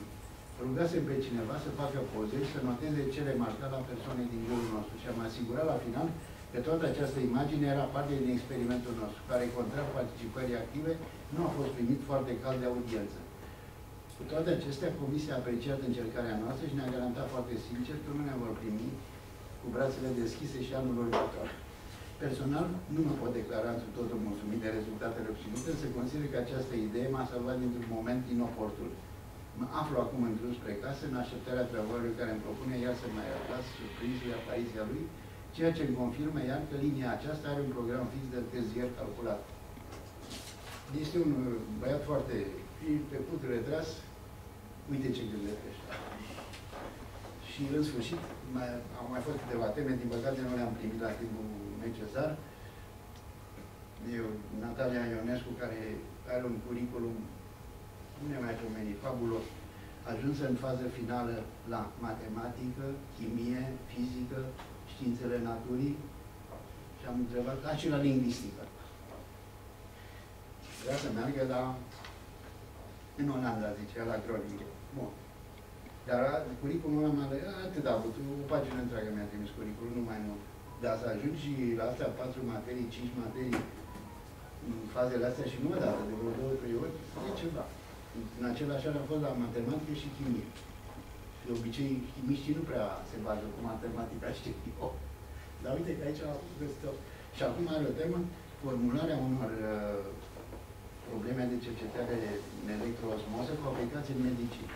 Asta e tema ei de acum. Mai sunt și altele chestii. uh, Ori într-un salon de bil am citit. uh, Deci, ar mai fi o temă sau două care, la care nu am trimis încă. Ah, mai este o temă interesantă al lui Eva Savin, două ore în spatele gării din Sprodiște. Dar observați că au și talent literar, unii din ei. Nu le merge mintea. Ei se duc pe știință. Dar asta s-ar putea să ierte. Ce Asimov n-avea talent, târziu l-a descoperit. Asta cu uh, știința, nu? Era chimist de meserie. Și nu numai el. Huxley, parcă mai era savant biolog, care avea un, era un romancier deosebit. Acum să vă citesc și Mulți ultima. scriitori de SF sunt. Cum? Sunt mulți scriitori de SF sunt și oameni de știință. Și Păi- când veni vorba, există nu, o da. serie de trei romane care Deci se dânsa cheamă este mare Funicile. specialistă, deci Da. uh, regretatul său soț al Cristinei este domnul Ghidovean, mare specialist pe SF, pe scriere SF, și mare dispută cu domnul Mironov tot timpul. Era. Era. Și a și scris cărți, și ei doi au tradus uh, romanul Dune, nu? Ați avut câteva realizări. Uh, Nu am tradus uh, Cum că stăteați noaptea, Cu lucrați el, noaptea și da. ziua dormiți. Deci niște romane din serie, da. Uh, nu, dar vreau să spun de Da, funicile. Uh, acțiunea se desfășoară parțial din perspectiva furnicilor, pentru care oamenii sunt degetele. Da. Da. Niște chestii mari și roz care Cine e sunt bine? primejdioase, da. Și autorul uh, era entomolog. Dar să vă citesc și ultima contribuție a șefului centrului, ca să vedeți că nu sunteți prea sănătoși toți. Deci un mic exercițiu de empatie, un mic eseu pentru cei dispăruți. Oare? Mitică Moțârlău îl diviniza pe secretarul științific al Institutului de Cercetare Avansate în procese electrice, chimice și metalurgice, de cum ajunseze ca stagiar în această instituție plină de spirit. Avea să afle mai, târziu- mai târziu că rafinamentul, bunul gust, discreția și subtilitatea meceniei sale, că altfel nu putea să-i spună, studiind cu sufletul la gură biografia lui Lorenzoi Ioșca Libidineală, deci secretarul Institutului de Vârf. Din discuție cu tatăl său, că tatăl său fusese gardian la Iud, el la și Sighe de armații, iar mama filatoare nu la textile. Ce frumos știa să pună problema Lorenzoi și știa el să facă ordine și oprea orice tendință de parazitism, stimulând creația, vorbind cu generozitate și bunătate specifică iubitorului de oameni cercetători. Bă, cercetători, băgați-vă, bă, mintea în cap și puneți-vă, bă, pe treabă, că altfel mai bine vă duceți cu vaca la păscut. Apuceți-vă, băi, de, apucați-vă, băi, de aplicații, că vă ia mama dracului. tu mama lui de cercetare. Vorbea ca un lord în ale cercetării, aducând aminte de De Broglie, Maxwell, Einstein și Proca. Și asta când era bine dispus. Și asta în zâmbete ale celor din conducerea institutelor, Institutului privind superior către turma de oi și miei venind la avizarea proiectelor de cercetare. Mitică Silvică Moțelău îl diviniza pentru faptul că Lorenzo era stăpân pe el, știa să conducă cu determinare ședințele de avizare și era activ în toate cele 1313 domenii ale Institutului în care avea cinstea să fie stagiar. Ba chiar el însuși se ocupa de 110-120 de domenii. Adică deja a început să se cunoască multe, sigur, călca pe urmele modelului său. Asta în ciuda celor spuse de gurile rele, că scuipă pe jos, da, da, erau flegmele unui savant după Mozerlău, că e libidinos, pune de multe ori brațul său cleios pe spatele junelor cercetătoare, braț cleios, dar era brațul unui savant după Mozerlău. Ce l-ar fi vrut să simtă acest braț? Și că vezi bine, pute în multe momente ale săptămânii. De asta era mirosul plin de personalitatea unui savant, zise Mozerlău. Această divinizare merge până acolo încât Silvică, mai că și-ar fi dorit să devină soția lui Lorenzoi. Această simpatie fusese observată de secretarul științific, încât Silvică considera preferatul în a fi trimis să cumpere pachete de țigări pentru Lorenzoi. Astfel se strânseră relațiile între ei. cei doi, mai ales că Silvica devenise un bun informatician, dând conștiincios zilnic rapoarte despre colegii săi. Fusese ziua când dispăruse Lorențoi, Lorențoi Libidineală, zis Ioșca, care intrase fumând și brusc într-un laborator de înaltă tensiune, fără să se apuce să protejeze cu ambele mâini de câmpul electric criminal. Vedeți unde duce familiaritatea acestui savant care la bază se zice că era chimist și care avea ușile deschise în toate laboratoarele institutului, toți se întrebau dacă plecarea spre cei drepți, la intersecția, la intersecția Lorențoi luase calea cu iarbă și liniște sau calea plină de promisiuni a chimiei aplicațiilor pe bază de smoală, Inutil să mai spunem că Silvică Moțurlău a avut cuvinte, uh, câteva cuvinte la mormântarea prea divinizatului său model. Mă, unde te-ai dus tu, mă, prea rafinatului și mult cunoscătorul de Lorenzo Libidineală? Te-am iubit, divinizat și cultivat, ca tine vreau să fiu. După care, când încă se mai punea pământ pe mormântul dispărutului, aruncă o flegmă în memoria lui Libidineală și spuse grav către cercetătorii din institut, veniți pentru ultimul dumneavoastră Bă, nu l-ați meritat, simțiți-l. Bun. Nu, personajii nu au nicio legătură, cum ca orice romancier, persoane reale. Deci, asta a fost aici, încheiem uh, ședința de astăzi. Dacă sunt ceva cuvinte din, din spectatorii, din uh, spectacolul Scaunele de Eugen Ionescu. Deci, toată apreciarea pentru acești copii care se prind de imaginație și creativitate care ne lasă singuri pe noi. Unde vă duceți? Mă, voi la Cambridge, la nu știu ce. Mai stați pe aici. Mai venim la niște cenacuri. Uite, vă facem în fiecare an ceasul de cenacuri dacă rămâneți în România. Nu, duceți-vă la Cambridge. Duceți-vă la Yale. Duceți-vă la Harvard. Că aici noi nu ne facem bine cu el. Eu aș vrea să spun ceva. E o repetiție încântătoare și de mine tradiție și sunt sigur că va continua, într-un spațiu în care vin cu foarte mare plăcere, un spațiu de fuziune între bios, inginerie, uman și acum lecții de comunicare. A unei generații, într-un dialog interdisciplinar, a unei generații care se dovedește a fi, avea foarte mult conținut. Trebuie să lăsăm să zboare spre atitudinile pe care le pot atinge și care fac bine rădăcinilor din care plecat. Eu zic că dacă ajungem în medii normale, obișnuite și ne fac cinste, nu e bine? Poate că se întorc la ne întrevenim și noi aici. Dar dacă lucrurile merg cum merg acum, ce garanție au ei? Că ajunge într-un institut de cercetări unul din ei și se trezește că trebuie să facă un deviz mâine. Păi mâine că trebuie să duc actele. Păi mâine că trebuie să are de făcut nu știu ce raport. Păi, și de cercetare nu mai are de furnici. Astea sunt prostii, o să zică majoritatea cercetătorilor. Domnul Capăl, știu că vă supăr, da? Lăsați-mă să vă supăr. Lucrurile sunt mai complicate. Mai complicate, Da. Sunt mai complicate. Da, v-a plăcut uh, expresionismul ăsta? Da, mi-a plăcut tare. V-aș sugera să faceți o întâlnire cu Centrul de Excelență de la Universitatea de Teatru. De? De teatru.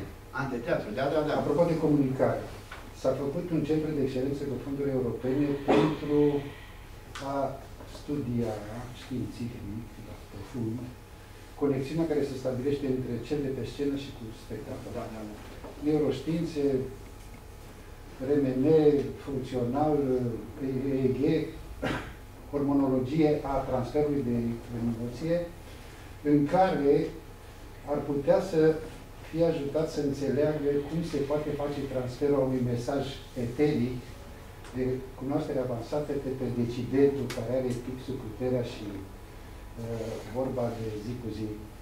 Cred că trebuie cercetătorul cel zilei de mâine, cele de astăzi, care urmează spre mine, să aibă capacitatea să-și comunice esența gândirii într-un limbaj adamic pe care poate înțelege toată lumea și mai ales cei care finanțează o asemenea.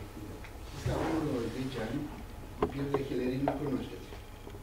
El preda mișcare scenică la IATC. Și a făcut un experiment. Nici o temă de Politehnică mai aproape, la care am făcut 10 studenți de la Politehnică, 10 de la construcții și 10 de la IATC, de fapt o grupă de 12 din care fete erau 10 și de băieți. Și tema era o temă, sigur, mai complicată pentru IATC.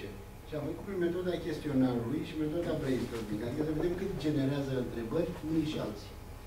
Pe primul loc au ieșit diatecele. Nici o inhibație, nimic. Au turnat la întrebări de ne-au terminat. 120 de întrebări, mi se pare că într-o oră.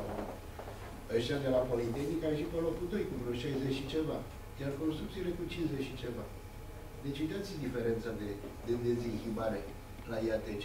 Cred că osmoza transdisciplinară își poate produce efectele în condițiile suportului digital și a transferului de cunoaștere avansată uh, într-o generație care poate să accelereze nivelul de conexiuni da. între domenii. Păi știți că eu țin minte, noi am avut un colaborator pe Tache Constantinescu, asistentul lui Nenițescu. Și s-a dat concurs pentru asistent la Nenițescu. Pe chimie erau buni vreo 3 sau 4, la care Nenițescu le spune, băi, dar ce haruri mai aveți? Era un pian acolo la el, sigur că ăsta cânta, era... Și Tache Constantinescu a câștigat concursul pentru că știa să cânte la pian. Asta m-a impresionat. De broi, nu putea să aibă colaboratori care nu știau uh, poezie, nu știau literatură, pictură și așa mai Și departe. Einstein, cu doar. Deci cercetătorul ăla vechi de motat avea un, uh, cum să vă spun, o instrumentație, un anume armament. Acum nu cred că mai există așa ceva. Mai există cercetători care pot să-ți facă integrală, dar nu au nicio legătură cu impresionism. De asta cartea asta, Romantismul German, mi-a deschis ideea că uite, științele pleacă, uite și critica în cercetare, plecată tot de la critica franceză în literatură. Am găsit date. Adică, la început, cercetătorii ăștia citeau și critică literară. Și au zis, a, Tibodei e bun, că uite, punem problema așa, sunt deja metodologii care putem aplica în cercetare. Domnul Capăl, câți ani sunt de când s-a cunoscut bioingineria aici? Eu știu, 20 de ani. 20. Cel puțin 20. 21 de ani. Deci, eh, apropierea diagonalelor cunoașterii a început și aici un spațiu extraordinar de generos. Da. Cred că este drumul unde ei au șansa să evolueze și care e un mesaj de spre cercetare, dacă dă Dumnezeu ca era Nu știu dacă directiva dacă europeană. Dacă expoziția de acolo, a fost făcută cu Tonița. Deci am avut o colaborare, la un moment dat am avut o fată de acolo, Brina Liu o chema, era la clasă de sculptură. Era o colaborare cu, cu ei făceau niște costume de avantgardă iluminate, cu o temă de cercetare. Și erau de la Tudor Bianu un băiat, de la Mihai Vitaj la Ile Caragian. Și vine fata asta aici, reprezintă, cred că ați văzut-o, tot la o simpozion de sesiuni de comunicare. Și am făcut și eu și cercetare după aia în doamna și ne-am trezit cu clasa de sculptură a ei, venind aici cu lutul la încă cald, cu figuri de savanți, pe care le păstrez și acum. Am dat de un domn Caragiu, nepotul actorului, care era profesor de design, și vrea să ne ajute. Și de directorul de la Tonița, lucruri foarte interesante. Din păcate, consecvența românească se oprește după entuziasm rapid și zace. Asta e. Acum, cu pandemie e și mai greu. Era vorba să facem un triumvirat și cu liceul de muzică, care se oferise ca să facem set de astea de literatură, artă și muzică. Ei venind cu copii care, sigur, erau buni pe tot felul de instrumente. Și ar fi fost niște chestii frumoase. N-am mai ajuns să facem treaba asta. Poate de acum încolo, nu știu. Da, este necesar arta, cum să nu, un orizont. De, de broi știu de la de acolo. Și faima. Nu și închipuie că un cercetător bun va fi unul fără orizont cultural. Nu, erau dubii. Proca. Proca era mare amator de muzică, Alexandru Proca. ăsta. Poate directiva europeană de finanțare care a apărut acum câteva zile, sau mă rog, foarte recent, de uh, obligare a națiunilor europene să investească 3% în cercetare, va schimba Dar știți, am citit biografia lui Andrei Șerban. Asta și-a scris o carte foarte frumoasă, în care zice, domnule, tare vrea să fiu cercetător. Culisele unui teatru este un laborator de cercetare, zice. Acolo și la repetiții, acolo e cercetare din greu. Așa văd eu, ca un laborator de cercetare teatru. Ceea ce m-a instigat, uite mă ce, cum gândește asta. Și într-adevăr, a pus în, nu, câte lucruri a pus, și spectacolul la Crecene, la Teatrul Național, și nu știu ce spectacol la operă, toate de avantgardă. nu nu înțeleg, nu, nu, nu jură. Da, uite că prinde. Și Andrei Șerban, uh, așa nebunia mea, la un moment dat în, uh, în echipă era Andrei Corbean, unul din elevi. Doamna Corbeanu era adjunta lui Carabiu. Și i-am spus, zic, doamne, da, haideți să facem o întâlnire cu oamenii ăștia de teatru, uite cu Andrei Șerban. Da. Am scris o invitație, i-a trimis-o, am primit și un răspuns, că e foarte ocupat, dar că cu primul ocaz ne va da răspunsul și chiar ar vrea să vină să discutăm despre treaba asta, că el face, nu știu dacă știți, vine în țară și face pe grație niște lecții cu studenții, cine vrea să vină, despre teatru și despre legăturile astea interdisciplinare. La Arad, el are din Arad, e taică și țineam mult la Arad.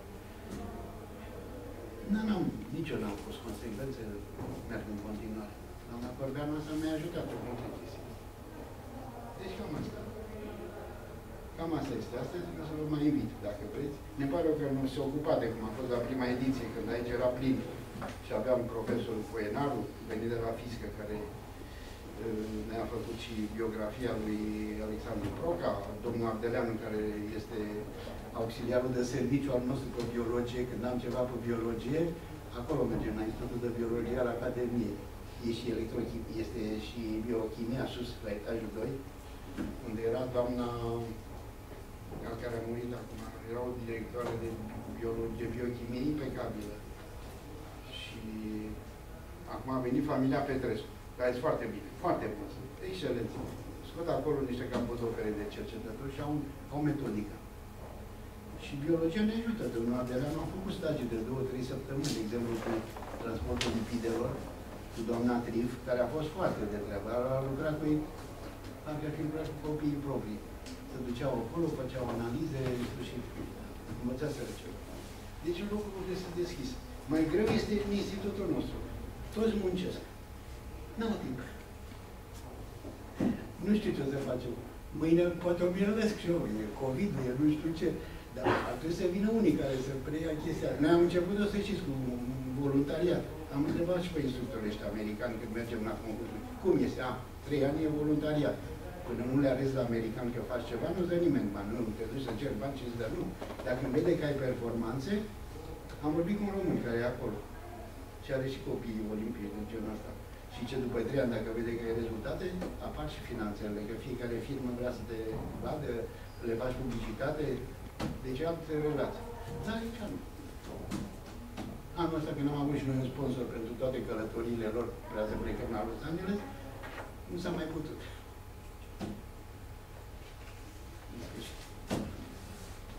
Asta e. Păcat că... Păcat că suntem așa în stare mediocră cu Dar, doamne, Olimpiadele de creativitate sunt recunoscute de Ministerul Educației. Și s-au pus alături de celelalte olimpiade. Nu mai avem, nu. nu, nu Este o lege. De te anul trecut, duci, din ianuarie. copiii ăștia nu că n-ar face față la mine, dar cei care au rămas aici, deci că au dat la medicină. Ăștia care erau la Olimpiadă de nu știu ce, de rezolvitori, aveau trecere. Dacă ăștia s-au dus cu cele, am dat și o recomandare, nu, nu e recunoscut de Ministerul Învățământului. Cum să Nu. nu fie recunoscut? Este Păi dacă eu vă spun, menționat în legea știți că am fost cu dumneavoastră, am mai fost de Da, bine, la înainte, fiecare înainte. ministru merge. Înainte, Inclusiv înainte. domnul Mironov, care ne ajută permanent. Când a făcut și el o chestie și ministrul Bur- Burna, nu știu ce mai ultimul, când a fost evenimentul nostru, Ah, a zis, gata, mai, Următe, acum vă consider, s-a întâmplat de două situații asta, o și-a dat demisă, o e demisă. Și atunci, suntem într-o stare de asta, cam procesul. A zis că acolo Arpentorul vrea să ajungă la, la șeful castelului, la cineva. Și nu reușește. Tot timpul romanului, când deschide ușa, se închide ușa. Mai trimiteți odată mesajul, adresantul s-a schimbat, mai trimiteți odată mesajul Da, și nu scris. Trebuie predat. Doamna sa ministră este fostă profesoară de română la Tudor Vianu, de unde noi avem materie primă, domnul cei, adică materie primă. Avem ele foarte multe de acolo. Și am vorbit cu directoarea, dar acum cu pandemia s-au precipitat toate lucrurile, numai la asta nu este gândul lor. Au fi- și e presiune și da. E- Mă miră pe mine cum părinții ăștia au presiune, în timp oamenii nu interesează ce fac copiii la școlile astea proaste. Nu. Ai părinții ăștia care vin beți, vin nu știu cum, Acum toți sunt împotriva ce se face. Nu sunt sigur că, dar ei sunt împotriva. cum e și cu marșurile astea de libertate contra măștii. Și câte a fost Ceaușescu, n-am avut o dizidență deloc ca lumea. A fost doamna Müller și a spus, păi dizident era doamna aia de la Cluj. Cornea. Și muncitorul ăla de la Cluj, care bătea toată lumea, toată securitatea, dar nimeni nu se ducea să ia de măcar de jos. Dar acum sunt marșuri de libertate. Acum luptăm pentru libertate. Acum ne-am trezit. Acum când pot să-mi jur președintele, primul ministru, nu știu ce, luptăm pentru libertate. A apărut un zid de care s-au lovit toți. Poftiți? A apărut un zid de care ne-am lovit toți. Și atunci s-a polarizat societatea. Din păcate, domnul Doc. Dar noi vă mulțumim că ne-ați ajutat în vreo două cazuri. Știți că una din fetele alea care au tot chirurgia este la Manchester, uh, Andra Ciutac. Și este cea mai strălucitoare din... Uh, e a doua an la medicina din Manchester. Uh, au făcut acum uh, raiduri cu doctorii de acolo, au avut un soi de voluntariat pe coronavirus în țara gazelor, acolo au avut ei cu uh, echipe făcute din doi profesori și vreo 10-20 de studenți și au trecut prin țara care de o parte și alta cu voluntariat. Când s-a cerut voluntariat, acolo au apărut nu 1000 cât au cerut, ei 4000 de studenți și din Politehnică veniți. Aici când s-a cerut voluntariat și-au mai dat demisia niște doctori. Continuați că veți realiza o masă critică care va face schimbări. Masa Continuați. E pentru mine un exil, așa, adică Nu faptul e că exil. lucrez cu ei mă- mai stimulează. Da, domnul Patroi, așa este. Schimbați mentalitatea.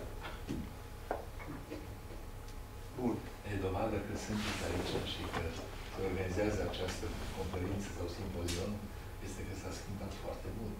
Da, și bănuiesc că s-a schimbat. Chiar foarte mă bucur și să vă spun un Nu lucru. întâmplător, cred că a apărut poate aici, Uitați la o chestie institut și care- nu în altă parte. Aceast, Apropo de acest fel de comunicare. apartenență la institut. Mi s-a dat premiul ăsta de uh, oamenilor de știință pe științe tehnice, pentru inițierea în cercetare. Cartea aia, tradusă în engleză. în sfârșit. Și o anume intelectuală de serviciu de aici, zic, măi, dar de ce n-apar și eu pe site? De ce n-apare centru care realizări cu asta și... Ce, nu pot, domnule Ignat, știți, e un regulament. Nu pot să vă pun. Păi, intelectuala asta de serviciu, care zice că e și jurnalistă, scuzați-mă, n-are și ea niște stăpâni acolo, cred că trebuie să aibă. Zic eu. Dar e ca sora șefă din uh, pod deasupra unui cuib de puci. Când sora șefă comanda, nu medicul salonului. Țineți minte? Liderul Aia era formal cea și mai dură. liderul real niciodată nu coincid.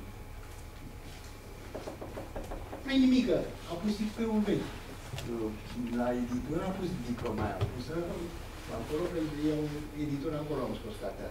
Dar ei au fost repede, au scos. Nu, e- nu. Nu că mă deranjează, că am un cer de oameni care discută, îl știu pe doctorul Constantinescu, Lugner. Avem o asociație cu care, sigur, în- cu ea discut mai mult. Și, da, la mine că aici, eu unde sunt? Eu nu sunt aici, nici pe ăsta. Centrul ăsta nu e în a- apartenență aici. Măcar să avem și noi un dulăpior acolo, ne punem diplomele, că au ei ce să pună. Da, jos în hol, niciun vorbă despre centrul ăsta. Și puteți, uite, diploma, aia, au diplome de la reprezentare. Ne-au trimis mereu. În sfârșit. Adică simt că nu suntem, mă, suntem băgați acolo cu bibliotecara, cu nu știu cine. Da, poate că merită mai multă atenție, așa că zic și eu. Auzi, dar toți băieții ăștia se sau fete din jurul tău nu pot să facă un site. Faceți un site al vostru. Da, n-am un să fie recunoscut. Nu mă pricep foarte bine, să știi. Păi tu nu, de aia, mă gândesc la Ei, ei. Am avut de la informatică odată, s-a zis că nu se poate intra aici, domnul Dorin nu e pe aici. Mi-a zis, "Dom'le, nu a făcut un program și nu poate să fie intrat aici. Ei, Deci dacă site-ul institutului nu vă Nu o să dă vorbesc piețe, ca un băiat care a fost automatic, a făcut aici la stagiatura. Situația nu e chiar așa dramatică. Și-au dat cum? Adică situația uh, centrului nu e chiar așa dramatică cum aici se Da, încearcă vedem. să se prezinte. Toate sunt filmate, uite, că toate Faptul că evenimentele ne, astea sunt că filmate. ne aflăm aici astăzi exact cum a spus domnul Capal, arată că situația nu e Păi dramatică. dar n-am zis, stai puțin, imediat, dacă pun o problemă, parcă dau un voi. Nu e așa. Dar nu e de Da. dată noi. Chiar dacă ar fi Trebuie să intenționat să comentăm. o faceți, noi nu o simțim asta. Democrația presupune și un dialog. Nu? Bine? Păi da, asta. Dialogul nu, nu este un monolog, nu? Nu, nu, nu așa. Cred că reformulat se poate și mai bine. Deci Situația mi se pare foarte bună, adică nu... Este, Nu, este nu, criticat nu, întotdeauna nu, la ceva mentalitatea și de dumneavoastră- îmbunătățit. Asta e adevărat. Dacă nu mai există elemente de criticat, înseamnă că nu mai avem ce îmbunătăți. Toți ziceau, vai ce prostie. Chiar și domnul Buduceac mi-a rămas uh, ideea că uh, el a spus o dată, zice, terminați cu prostiile astea, apucați-vă de învățat. Era o, tot așa o sesiune, eu eram în afara, zic, zice, el care era, cum era, profesor era cel mai bun. de chimie. Exemplu aici. Și îmi zice, lăsați prostiile astea, le spunea la copii, eu nu eram de față, că eram nu știu cu ce. Zice, lăsați prostiile astea, apucați-vă de învățat. Parcă asta e o prostie, știi, nu că schimbăm mentalitatea sau că... Vă vedeți vreo soluție în această situație, copii? Nu, eu merg în continuare. Nu, nu, deci, tinerii, dacă văd o soluție de rezolvare a creșterii vizibilității ce... Ah, știți cum, eu nu mai trebuie să fac publicitate. Ei se aduc unul pe altul. Da. Deja Da. află de la Noi liceu facem chestii, doar că suntem 2, 4, 5 oameni. Poate nu facem câte s-ar putea să facă mai mulți Asta e, asta e întrebarea. Ce se poate face ca să vă creșteți Dacă ați zice de promovarea uh, rezultatelor noastre, s-ar putea, nu știu, pe, în primul rând un website și în al doilea rând pe ce mai fac oamenii, pe social media, pe nu știu, nu neapărat de recrutare, ci de promovarea rezultatelor uh, de Apare. accent. Nu pot să zic că nu apare. Eu nu fac invitații la radio cultural. Da, mai să aici un loc uh, Nu, acolo aveți domnul invitație. Am fost 10, că duce doamna juristă. Nu cumva să depășim. Și și ne cheamă, doamna Corina Negrea, la Radio Cultural. Uite, acum avem pagina maștiințe tehnică, domnul Mironov, cu care eram în conflict la început, acum colaborăm foarte bine. De ce? Cu domnul Mironov, prin 90-91. Și acum e chiar un ajutor. Nu vă mai spun ce s-a întâmplat odată. Mergeam la... Noastră greșiți. Noi nu eram în conflict cu Mironov. Dumneavoastră erați politic în conflict Politic cu eram, da. Mironov. da, Da. Și așa Aia e era- altceva. Nu mai cum. Noi aici Dar s-a dovedit foarte bun de a lucra cu copii. Adică trebuie să trec peste niște chestii. Totdeauna ne-a dat credit cu toate lucrurile care... El era șeful comisiei de olimpiadă la un moment dat și... Consilierul domnului Iliescu, nu? Da. Dar uh, știu că odată am plecat cu trenul din București, că eram cu vreo 10-12 copii, mergeam la Suceava, acolo se desfășoară finala pe țară. Și era și domnul Mironov, în compartimentul ăla, eu eram în alt compartiment. Și la un moment dat văd o scenă de a murit, aveam și o chinezoaică, mai care de cânta. Toți erau unul pe el și unul era cu picioarele aproape pe poalele lui Mironov. Și chem zic, măi, dar nu știți că cine e domnul Mironov? Toți erau acolo. Așa zic, aoleu, o să vină mâine să aștept de comisii și să vezi ce o să ne toate. Și iese pe culoar el și zic, domnul Mironov, vă rog să ne scuzați ăștia. Și Nu e nicio problemă, dragă, zice, să vedeți lotul olimpic de matematică, că nu se trezește după ce te amot că seara. A rămas paf. Ei, după aia ăștia au rămas cu gura că scape, că lasul ce au venit el și a apărut ăsta și eu îl cunoaște și toți îi știau, erau descălțați, erau puși unul peste altul. Nu mai... Da, el care cunoaște situația nu ne-a ținut cont niciodată de treaba asta. Uite, acum ne-a dat pagină, redactorul șef la știință estetică, ne-a dat o pagină. Nu? Doamna Cristina, care e și acolo ziaristă, ziarista echipei. Bun. Avem și un psiholog, domnul Stanciu. Ne-a dat testul Liverpool la toți și vrea să aibă 100 de astfel de teste ca să facă o statistică. Că el zice, dacă n-am 100, nu pot să fac statistică de creativitate. Cam adică cât de cât așa. De mișto. Deci vedeți că bilanțul e pozitiv, mai mult pozitiv. Este, este, că... Ce să vă spun? Numai faptul că auzi că dă un telefon de la Daimler, avem un băiat care e la în cercetare la Daimler, la robotică, și care l-am crescut din anul mai, era la Tudor Dianu, Sarivan. A făcut în Danemarca robotică și a dat concurs la Daimler după aia și l-a luat acolo, e în colectivul de robotică, un pasionat. Și de telefon și ce mai face domnule din atâtă? Lucrăm acum la o robotică pe o mașină de asta de electrică, de mers a cercetării. Da. Deci am o mare satisfacție că, uite, s-a aplicat un proiect de lucrări acționare. Ia uite, după aia vine Andra și zice, domnule, știi că sunt a doua, am avut cel mai bun mesel de istoria medicinei engleze. În engleză vorbește și bine și e de tipă de asta studioasă, stă acolo, ai intrat, le impresionat și pe el. Adică ai vârfuri. Avem un băiat care e la MIT, avem uh, o fată care e la Yale, acolo, care după ce intrase la Cambridge zice, aș vrea la Yale. Păi zic, cum a dat? Asta e săritorul la trapeză. Nu ești mulțumită de Cambridge, nu că ce la Yale se face proiectarea materialelor de pe calculator, zice, și o secție nouă. Și da, dar dacă pleci la Cambridge, rămâi pe din afară și nu intri la ei, în concurent. Da, da, asta e aplicația Gata, gata, gata. Faci acolo. Zic că el a dat mai doi. El a dat bacul pentru Cambridge. E la Hopa, fiindcă Dar tu le Cambridge faci azi la ora asta. Uh, Eu mă fac ce o să-mi permită pasiunile să mă fac. Păi pasiunile erau astea și cât de la contabilitate. La, la diverse. Așa zice la afaceri. Da, asta fac, să-i deturnez de la anumite drumuri, pot să fac. Au fost și în România, că uite, chinezoica face medicină aici, în București. Încă două fete, o joga a rămas aici, a făcut medici, face medicina. Sigur, e fata unui doctor, un doctor. Și tai că medic de ăsta, chirurg pe oase. Foarte bun. Ne-a și dat subiectul unei teme. Încalcă unul care are piciorul rupt după ce sau le face operație, vreo lună, două, nu are voie să calce foarte tare. Și atunci să-i facem un sistem de monitorizare pe talpă ca să-l anunțăm luminos sau ca, te, ca călcat prea tare. Și ne-am dus cu asta la Los Angeles și luam premiu. Ne-au dat americani. Că vine acolo oamenii, să știți că e juriu foarte serios acolo. Vin profesor de universitate, nu știu dacă ați văzut poza aia cu premiantul Nobel când îl felicită pe ursul. Am dincolo, nu?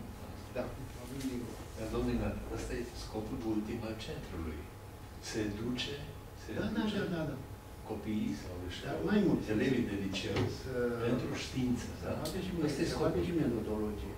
Deci, Ăsta e scopul nu e și centrului. metodologie. Cum abordăm Deci nu trebuie să ne mirăm că Dumneavoastră a spus că copiii sunt deștepți și nu mai avem ce să le adăugăm.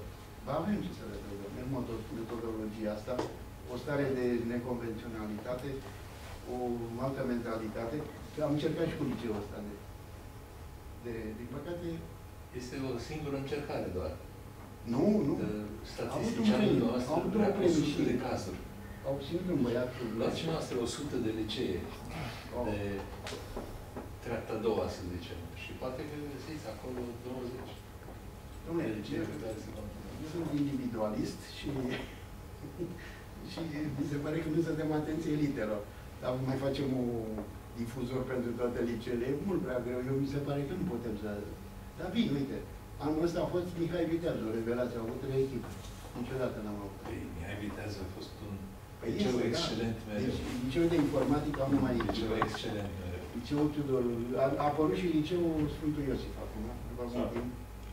Cum? Sava. Sava îi spune, Fatima, spune la biserică. Și să apar mie, deci nu mai e nevoie. Înainte mă duceam pe la liceu să-i rog să vină, nu. A apărut după Nicolae Bălcescu, nu? După Nicolae Bălcescu, da, cum spune Sfântul Sava. Mai se spune. Cine știe, poate vine alte vremuri și se va numi, eu știu, altfel. Cred că ce faceți aici ar putea să devină un model național. Am descoperit cu surprindere că NATO are un departament la resurse umane de talent development, care are metodologii, standarde, protocoale de practică, pentru a găsi cele mai performante minți și potențial de dezvoltare pentru instituții de tip uh, internațional. Cred că trebuie abordată profesional problema. Aveți exercițiu, aveți dovadă, ați, aveți o, o, o masă de oameni care au trecut pe aici și fac cinste centrului, cred că acest trebuie instituționalizat. Locul în care se dezvoltă Păi este, programul, deci este un laborator în cadrul Ok, instituției. ok, e perfect. La ora actuală aveți atâta conținut încât poate să devină o instituție de interes național, în care dezvoltarea de talente să fie, ții sunt copii, oameni majori, deja cu nevoi speciale, dacă îi punem la task-ul, la nivelul de jos și îi menținem la ritmul de dezvoltare obișnuit, pierde societatea pe termen lung. Da, asta, asta este obiectul.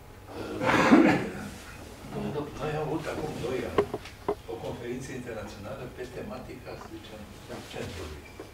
Au fost participanți din 17 țări. Deci noi nu suntem singuri, numai că nu s-a mai continuat cu această conferință. Păi de ce? Facem, nu, nu știu, Zoom. dar ar trebui făcută această conferință din nou. Dar acum e mai ușor, că dacă faci Zoom nu mai trebuie să-i aduci, să-i ai grijă de... Adevărat, conferința adevărată prin Da, e adevărat, corespondență sunt comunicarea directă cea mai Dar ar trebui încercat din nou. Că noi cunoaștem experiențe din 17 țări. Eu știu, Statele Unite are cea mai veche experiență. După ce urmează Germania din 65, asemenea centre. Sunt. Pentru educarea și pentru creșterea talentelor. Și sunt activități care sunt finanțate serios de către statele... Și avem avantajul că nu plecăm de la zero. Deci avem deja conținut. Dar și la noi există, vă spun, există o lege a Ministerului Învățământului prin care se recunoaște Olimpiada aceasta. Olimpiada aceasta se recunoaște. Nu, Poți să vă caut eu legea Nu știu și Timișoara, alergă după copii de ăștia. Chiar dacă prin lege se recunosc mai multe olimpiade, există o listă a ministerelor și a facultăților în sine, fiecare facultate, universitate are o listă cu, fa- cu olimpiadele pe care le acceptă. Deci prin lege, da, este, multe universități nu acceptă. Nu, Domnișoară, trebuie, trebuie, totul se, se produce gradat. Din primul an nimic n-a funcționat. Sunt multe lucruri care au zăcut 10 ani poate. Și fără, deci după aceea au explodat. Și aici ar trebui. Cred că nu s-a găsit încă, eu știu, elementul critic care să dezvolte. Dar, cred eu, o conferință, a doua conferință internațională, cu o participare serioasă internațională, ar putea să, să, să relanseze problema. Deci, Acum problema doi e că ani n-a fost, n-a fost conflict. Noi suferim N-a fost că legea. Ne trebuie ajutor la admitere. Că nu, ei fac față la admitere. Dacă se Nu, duc, nu nu e știu. vorba despre asta. E vorba Cred de că să recunoaștere. dea bonificație. Dar am observat următorul lucru. Că dacă iau premiu sau chiar participă, e diploma de participare la ISEF, îi se dă o bonificație la admiterea unde se duce în Occident. De exemplu, la Groningen am avut o fată care a luat punctaj foarte bun și a intrat la Groningen la o medicină de acolo. La MIT a contat foarte mult asta, că ești într-un centru de... Dăm recomandări la fiecare care pleacă și sunt bine primiți, că au, au punctaj de activitate extrașcolară pe domeniul cercetării. E în program, în SUA e program, adică de la luni după ora 12, copiii ăștia se duc fiecare la universități, pe cercetare. Pe aia care sunt pe sport, se duc pe sport. Și- Dar e program trecut ore de cercetare și o fac universitățile. Statele astea mari, California, Texas, care au câte 85 de proiecte, când vin la proiectele astea, nu mai vin pe SUA, ca echipă națională. Vin pe state, adică California 85 și New York 70 și Texasul 80 de proiecte. Nu credeți, domnule Ignat, că dacă centrul, unul din obiectivele de dezvoltare a centrului este studierea cadrului normativ, care uh, împiedică recunoașterea valorilor și promovarea acestor valori pentru a-și putea atinge țelul mai ușor. Cred că uh, din toți cei care vin lângă dumneavoastră vor putea găsi un pic de timp de a îndeplini una din aceste sarcini conexe pentru a crește nivelul de percepție a societății. Da, și este problema asta, se oprim aici, dar să fim Nu, nu, nu, nu, nu. Iertați-mă, nu pot să fiu de acord și poate nu sunt singurul. Uh, Trebuie să le dăm șansa să existe, să se dezvolte atunci când trebuie. Timpul oprit în loc nu se mai întoarce niciodată. Un român care creează fabulos afară din țară, lucrează pentru rădăcinile din care vine. Da, e adevărat.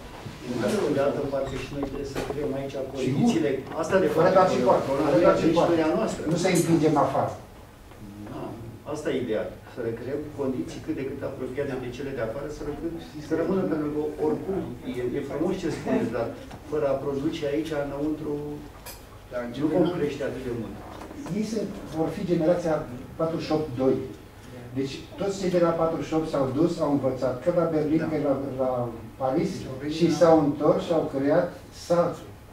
Deci nu cred că trebuie să fim cramponați că pleacă afară. Păi, nu este bine, dar pentru a putea co- crea condiții în țară, trebuie să adunăm forțe care au, au puterea să schimb, facă schimburi. Și capacitatea de a înțelege fenomenul, să creeze cadrul, uh, să spunem, instituțional și investițiile pentru ei să rămână. Domnul, dar centrele de vină când nu se dezvoltă e parțial vinovat. Fiindcă dacă domnul Ignat ar face a doua conferință internațională, ați învățat din prima, acolo a fost ministrul educației, ministrul cercetării, erau prezenți, fosta ministre, ministeriasă a educației, care a învățat acolo ceva și care a introdus aceste olimpiade în lista olimpiadelor, uh, eu știu, Bine, s-a făcut olimpiada, dar și datorită cui? Nu a lui doamna Andulescu. Deci, a, e, prorectorul de la Suceava, din Miana, da. pentru că Da, rectorul și lor eu. a fost ministru, Da, da. A zis, ia stai mă, să facem și o chestie de asta de creativitate. Din păcate, ministerul a zis, da, faceți-o, dar vedeți cu Ați trebuit să o stimulăm, nu să o așteptăm. Păi nu e dezvoltare. Nu e Să o nicio- stimulăm. Una dintre metode, o văd, faceți a doua conferință, interna- dar internațională. Tot așa cum a fost prima.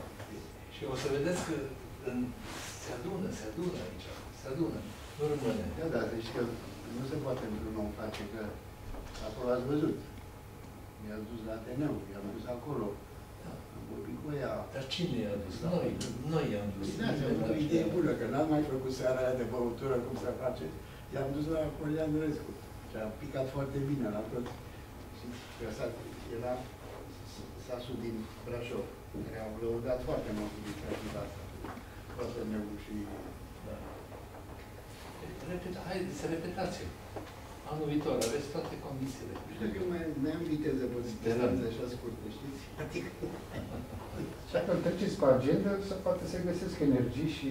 și... Se găsesc, avem acum oameni mai mulți care se pot ocupa. Cred că și o asemenea dimensiune pentru institut reprezintă un argument extraordinar de expunere. Deci este foarte comercial.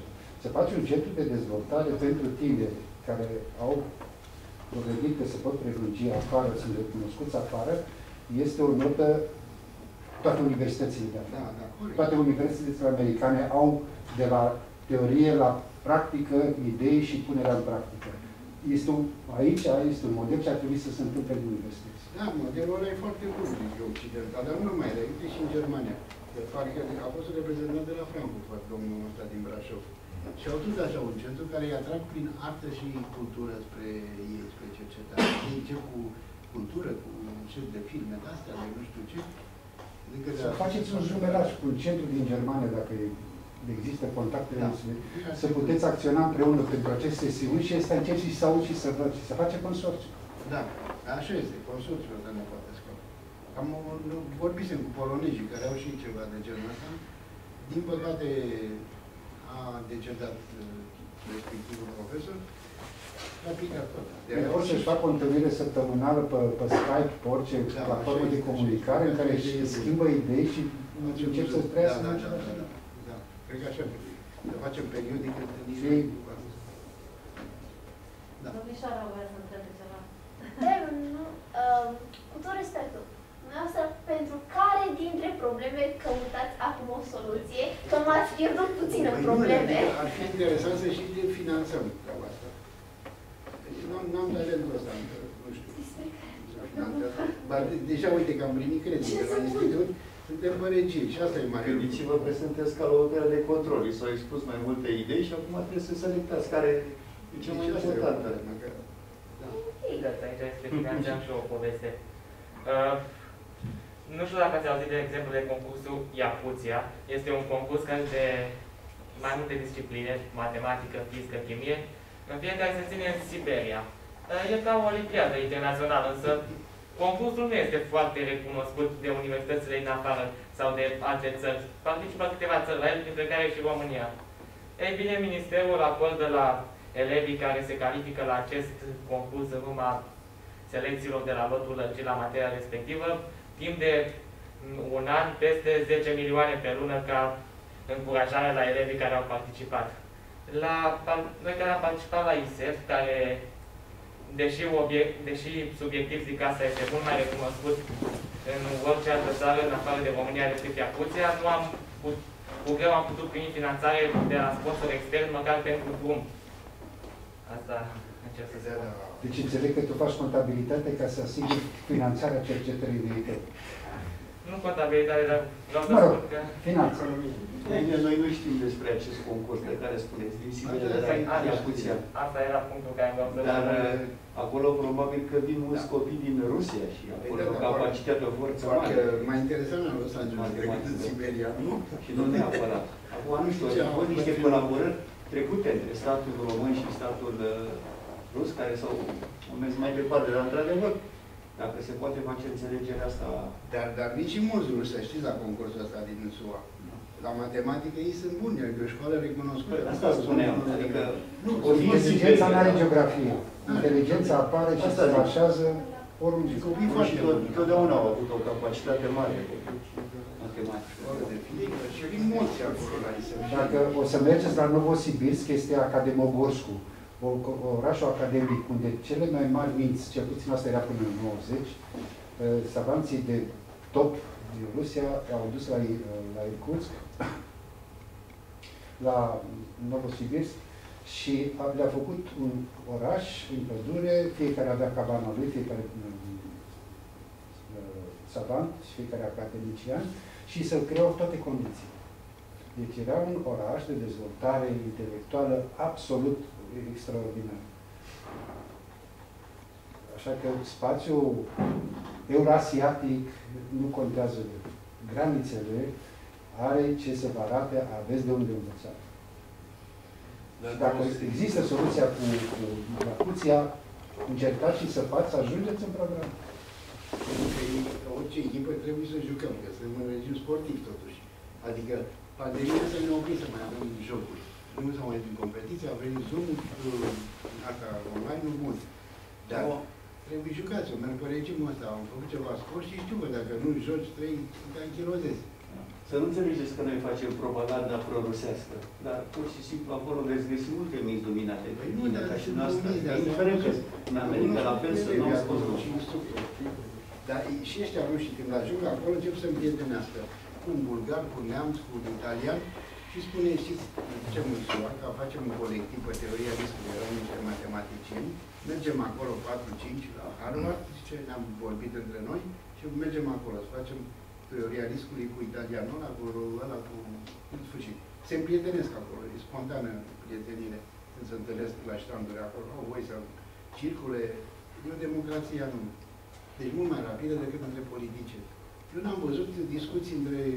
Erau aici turci, aici erau evrei, acolo nemți și acolo români. Nu există graniță. Se discută așa, parcă ar fi un singur stat. Într-o livadă te duci în pomul care are fructele sau cireșele cele mai bune. Nu, nu alegi. E curtea lui X, lui Y sau Da, X, sunt- pomul cel mai bun. Bine, să mai întâmplă și altceva, că la una din sesiuni am găsit că una din fete Miruna a primit, uh, i s-a cerut mâna de un egiptean. Și zic, cum mă, îi rup picioarele, dacă tai că tu ar fi aici, cred că i-ar rupe picioarele. Zic, cine e ăla? Eu vă dați seama, trebuie să gestionez și astfel de chestii. E egipteanul ăla care, când mă duceam acolo, ăla se primea ca într-o noapte furtunoasă, ne ocolea să uita după așa. Ceea ce mai într-o noapte furtunoasă mai văzusem asta. Știți, când erau la, la restaurant și cu muzică și Beligan se uita așa, că ciugarul titir pe inimă, era ce, care era mă, care Și a doua zi vine ăla cu un prieten și cere mâna și îl cere de două fete, Luana Maria. și zic, măi, fiți atenți, egipteanul, adică să era că bogat, era la Paris, vindea și, și zic, măi, o să vedea asta pe cămile, fiți Nu, se întâmplă și chestii de astea. Eu trebuie să gestionez și chestii sentimentale. Am echipe de astea care erau credeau că se căsătoresc, că nu știu ce. Aflu că în Anglia s-au despărțit complet. Mm, Și așa mai departe. Mi se spun secrete câteodată. În sfârșit, nu mai. Deci eu sunt om administrativ, asta sentimental, care nu e chiar definitiv. Am avut o echipă, era el o informatician excelent, Grama, ea era o matematiciană care Aconcea, ai de mine, nemaipomenită, făcuse o chestie de mers la normal. În funcție de mers la normal să vedem chestii psihiatrice. Și băiatul ăsta avea un giroscop, avea la date mii de mersuri pe secundă și trebuia să eliminăm partea normală a mersului numai partea normală, un filtru Kalman se numește, care e cercetare deja. În anul 2 trebuie să face la automat. Și vine fata asta cu soluția. Citise de anul 2, a învățat de derivate parțiale, totul la punct. El era informatic, am înțeles datele și asta a fost filtru Kalman. Erau și legat sentimental. Ajung în Anglia și se ceartă, nu se ceartă, și nu mai dau lucruri. Dar a fost o echipă, n-am mai putut să meargă, pentru că el avea probleme cu română. Și la bacalaureat i-au dat, fiind înscris la Cambridge, 970. Și el zice, băi, ce domnul profesor, dar eu am cu română, ce fac? Eu fac meditații. Bine, mă zic, dar știți matematică? Da, da, mi-a dat și româna încă la parcă, cel de englez, cer note mari. Și dacă nu scripești, și tot, ei, și n-a luat. Deci, deși a rămas în țară, n-a venit, a luat 967. O lună nu s-a putut, nu, două săptămâni nu s-a putut vorbi cu el, nici părinții, nici fata asta, nici eu, nimeni. Și în sfârșit reușește să lămurească pe băiat și începe să vorbească. Trimite o scrisoare acolo și îl acceptă englezii cu trei zecimi, sau cât era. Am zis, da, băgăm așa cum sunt, la, aveți informatica bună și matematică bună. Și ajunge la Cambridge până la Dar am avut cu, cu altul, un timp impecabil. Am făcut o temă aia cu energie gigant, cu formularea problemei, care presupunea ecuațiile derivate parțiale. Era în clasa 12 era un băiat care făcea fizică și chimie de mare performanță. Și excelent era. Era formulare, o chestie de filozofie și formularea problemei de energie gigante în, prin o ipoteză și aveți tot la Plină, plină. Ăsta băiatul ăsta care era la era tot la Tudorianu, n-a plecat. Pe tot așa, i-a cerut notă mare. A plecat în schimb colaborator aici lui o fată tot, fiziciană, Daria Radu. S-a dus ea. Dar n-a fost strălucirea pe care mergea ea, pentru că eu l-am văzut pe băiatul ăsta. A fost dărâmător în tot ce, ce prezenta fizic. Avea o figură de savant, de înțelegere, de... A ajuns sigur la Cambridge și ea și eu. Să știți că problema, întrebarea care o pune domnul e interesantă. Despre ce vorbim ca să putem interveni și noi în discuție. Păi, ia să fie niște precedente. Să vedem și părerea greșilor. Adică... E Rusoica. Ce spuneți? Rusoica, da. Să vedeți ce frumos. N-a spus la recitare, n-a spus când a citit. Dacă ați fi auzit ce e aici, cred că vă dezechilibrați puțin ce e care au fost. Păi, ați văzut programul, nu? Da, da. Arătim cuțitul după un coleg de clasă. Dar n-am identificat. Ori în spital mai spus că, cred că ultima dată, în câteva luni, la, în primăvară, nu mai țin. Care a fost cu mine, care a fost zis comunicare. Ai fost, ai fost, ai fost la istorie. Da, da. Că noi am mai avut în alea sesiune de știință, le-am făcut. Am zis să nu pierdem, facem zoom, nu înțelegem nimic.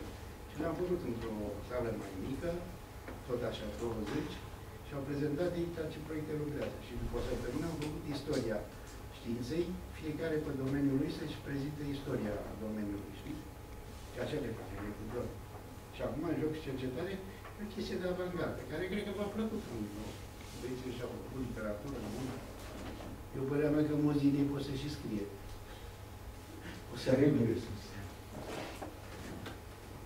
Da. Domnul Rudov mi-a spus o surpriză deosebită că ați venit astăzi. Uitați, eu sunt în scaunul sau nu sunt... Nu știu cum ați, ați apărut. Eu uh, aș fi vrut să vă invit, de multe ori mai dat telefoane, nu v-am prins, ați fost la Sibiu sau pe undeva.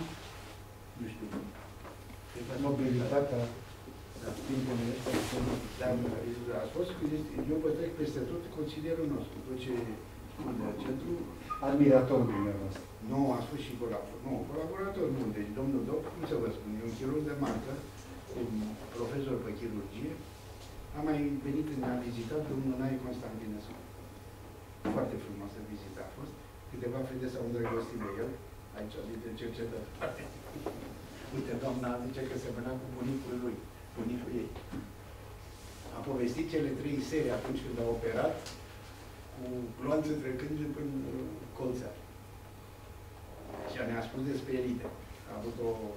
Deci, nu știu acum, ar trebui să mai facem cu invitații ăștia, că ne mai dezvoltă puțin, n-ai Constantin sau ce spune, pe elite și Noi, dacă vreți să veniți odată să vă chemăm să ne spuneți din experiență, n-ar fi rău. Ar fi bine. Accept invitația cu plăcere. E o idee bună. Acum că v-am prins aici. Da, acum ne-am pus niște sticle de vin acolo. În slugul este așa o scenografie de toamnă. Nu să filmeze, să zică în ministerul, băi ce alcoolice au vin. Cine vrea să le interpreteze așa, poate.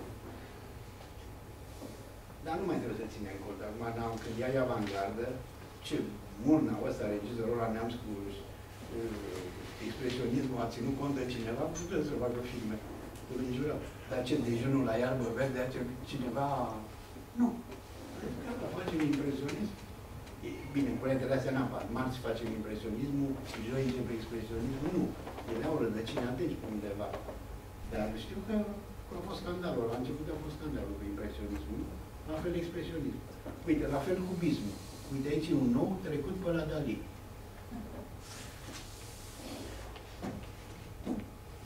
Deci aici se încheie. Cred că și un concert cu Pavarotti sau de Domingo, cred că nu este în final, da?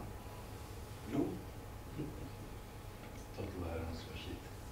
Bun, am zis să o facem în contact, nu prin Zoom. Că, Nu știu, pierde din, uh, pierde din uh, emoție și o prezentare pe calculator așa seacă, tot contactul direct, știți? Noi pierdem mult cu chestia asta. Pandemia asta mergeam în urmă și cu comunicarea foarte mult. Odată și odată tot o să se ridice. Nu știu dacă nu apare alt virus, că zice că chinezii, acum ne-am învățat să ne spălăm pe mâini și o să apară un virus ca să ne învețe să ne spălăm și pe picioare. Ieșisem de pe traiectorie prea rău și ne-a adus pe Dar poate că și avantaje, poate că revăzând bilanțurile noastre, le vedem mai critic acum. Cred că acum suntem într-o perioadă de instruire și după ce o să urmeze acest curs, vom ajunge la... Și ea care rămân după Vom timp. ajunge în normalitate, vom trece în normalitate. Dar dacă e masonerie la mijloc, Nu cred. vorba lui asta din uh, Leonida. Că nu ce masonerie, ăia, nu, complotul ăla din afară, dă și nouă, de parcă la atunci la medical nu se moare de așa ceva. Dumneavoastră ca medice ziceți, e manipulare? Cum este? Cum vi se pare? Știți, gândirea critică duală, dacă nu aduci în non-dual, nu obții adevărul. Cred că dimensiunea care prin fake news intră în casele și casetele noastre trebuie acceptată ca parte a realității. Deci există o dimensiune. E, e o organizație internațională pro-contra, pozitivă sau negativă, nu are nicio importanță. Tot ansamblu contează. Da. Și de acest ansamblu tot se moare, este un agent patogen la care n-am avut experiență și suntem expuși în noutate totală. Și inteligența fiecăruia de a ne ține dincolo de bariera periculoasă este un element cert. Restul sunt construcții subiective, emoționale și n-au valoare. Da. Așa este, așa este. Eu cred că Dacă nu abordăm ca oportunitate, pierdem. Pierdem timp. Așa este.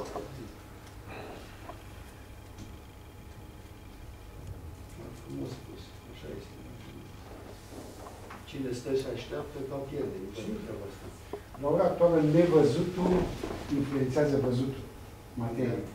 Deci dimensiuni care nu le putem percepe ne-au influențat la nivel macro, uh, sistem, ecosistem, dramatic. Păi asta, asta zicea Novalis despre intropatie.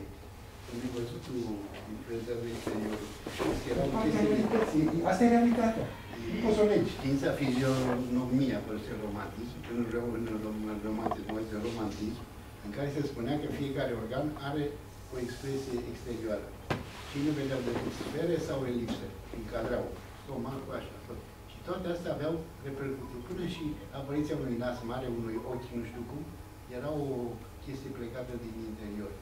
Știți, Pentru naiva mine, aici. pentru mine această pandemie este o, o șansă de a înțelege că integrarea omului în univers, apropo de enterobiom, Da, noi con- conviețuim și ne integrăm în univers prin enterobiom.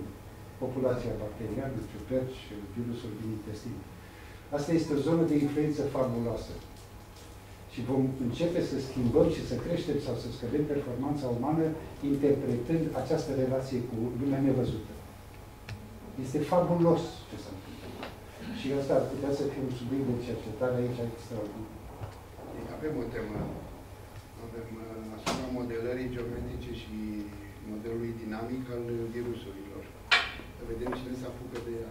Performanța minții umane va depinde de manipularea, de modelarea relației microbiom-organism cu pasajul transmembranar al mucoasei intestinale. Așa este. E un, un domeniu fabulos de dezvoltare.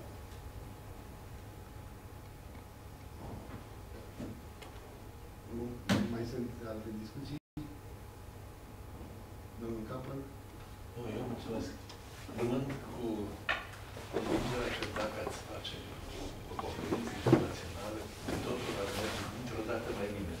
Și aici, și în Da, România. e adevărat. Avem forța. Cum avem? Avem. Destul. Destul de avem. Deci, trecută, noastră ați ajutat toată cu un ajutor major, așa că la anul, dacă ne propunem începând de acum să facem treaba asta, probabil că o să o facem. Da, nu știu dacă mai timp, acum mai suntem în octombrie. În iunie am făcut noi aceea. În iunie. În iunie este făcut în primăvară sau toamnă ați făcut sesiunile cu uh, acest simpozion mare sau conferință? Aceea a fost în iunie. Se poate face și în toamnă, da. Și a fost multe lume. Da, a fost, a fost, da. Păcat că am avut sala aia, dar cu atât a fost destul de bine ca să le Nepotrivit. Așa. Salutii băiețoși. Ultimul de da. Asta poate face altundeva. Poate la anul Ministerul mai plătește ceva. Anul ăsta n-a contribuit cu nimic la conferință. Nu, dar indiferent de ce se întâmplă, asta trebuie ținute, că altfel mai așteptăm. Uite, se pot face și fără bani. Ce? Nu-i neapărat nevoie să... Cred că dacă puneți idealul pe agenda de acum, la care capitolul financiar trebuie să fie o realitate, că e mic sau mare, dar trebuie să o punem la nivel maximal pe de agenda. Și acolo ajungem, dacă facem pașii până la strategie, tactic și operațional, să puteți reuși. Și ce spune domnul Capel este perfect adevărat în eveniment, va crea, va polariza atenție și va crește suport. Da, o să-mi scriem în activitățile de anul viitor. Este evident. Chestia asta. Mai să fim consecvenți. Dar luat din timp, adică noi avem o listă nouă de participanți în cele 17 țări, cred că reluat și plus față de participanți și alții care au... Da, am, am avut și români cu limbaj de lemn, cu mentalități de astea care nu sunt occident. Chiar a venit o ministră al al învățământului care a întârziat o oră, a venit, a vorbit o oră, după care a plecat. S-au întârziat lucrările. Păi ar trebui stabilită o regulă. Politicienii Nu. nu vorbesc, politicienii ascultă. Ce vă spun?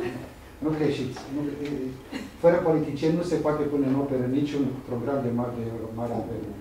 E da, dar ei se Sunt, ascultă. nu să zicem, rău necesar, dar dacă sunt pregătiți și înțeleg unde vin și de ce vin, eh, se poate schimba și conținutul Nu discurs. că și în ziua când mergem la deschidere acolo, e și o ședință în care vine un reprezentant al guvernului sau de la ministrul, nu există Ministerul Cercetării, dar Ministerul Educației.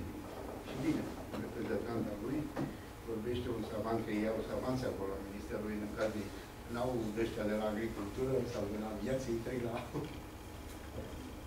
și sigur, au, sigur că e implicare, nu se poate fără politică. Încerc. Nu, dar nu știu de unde e chestia asta. Avem alergie față.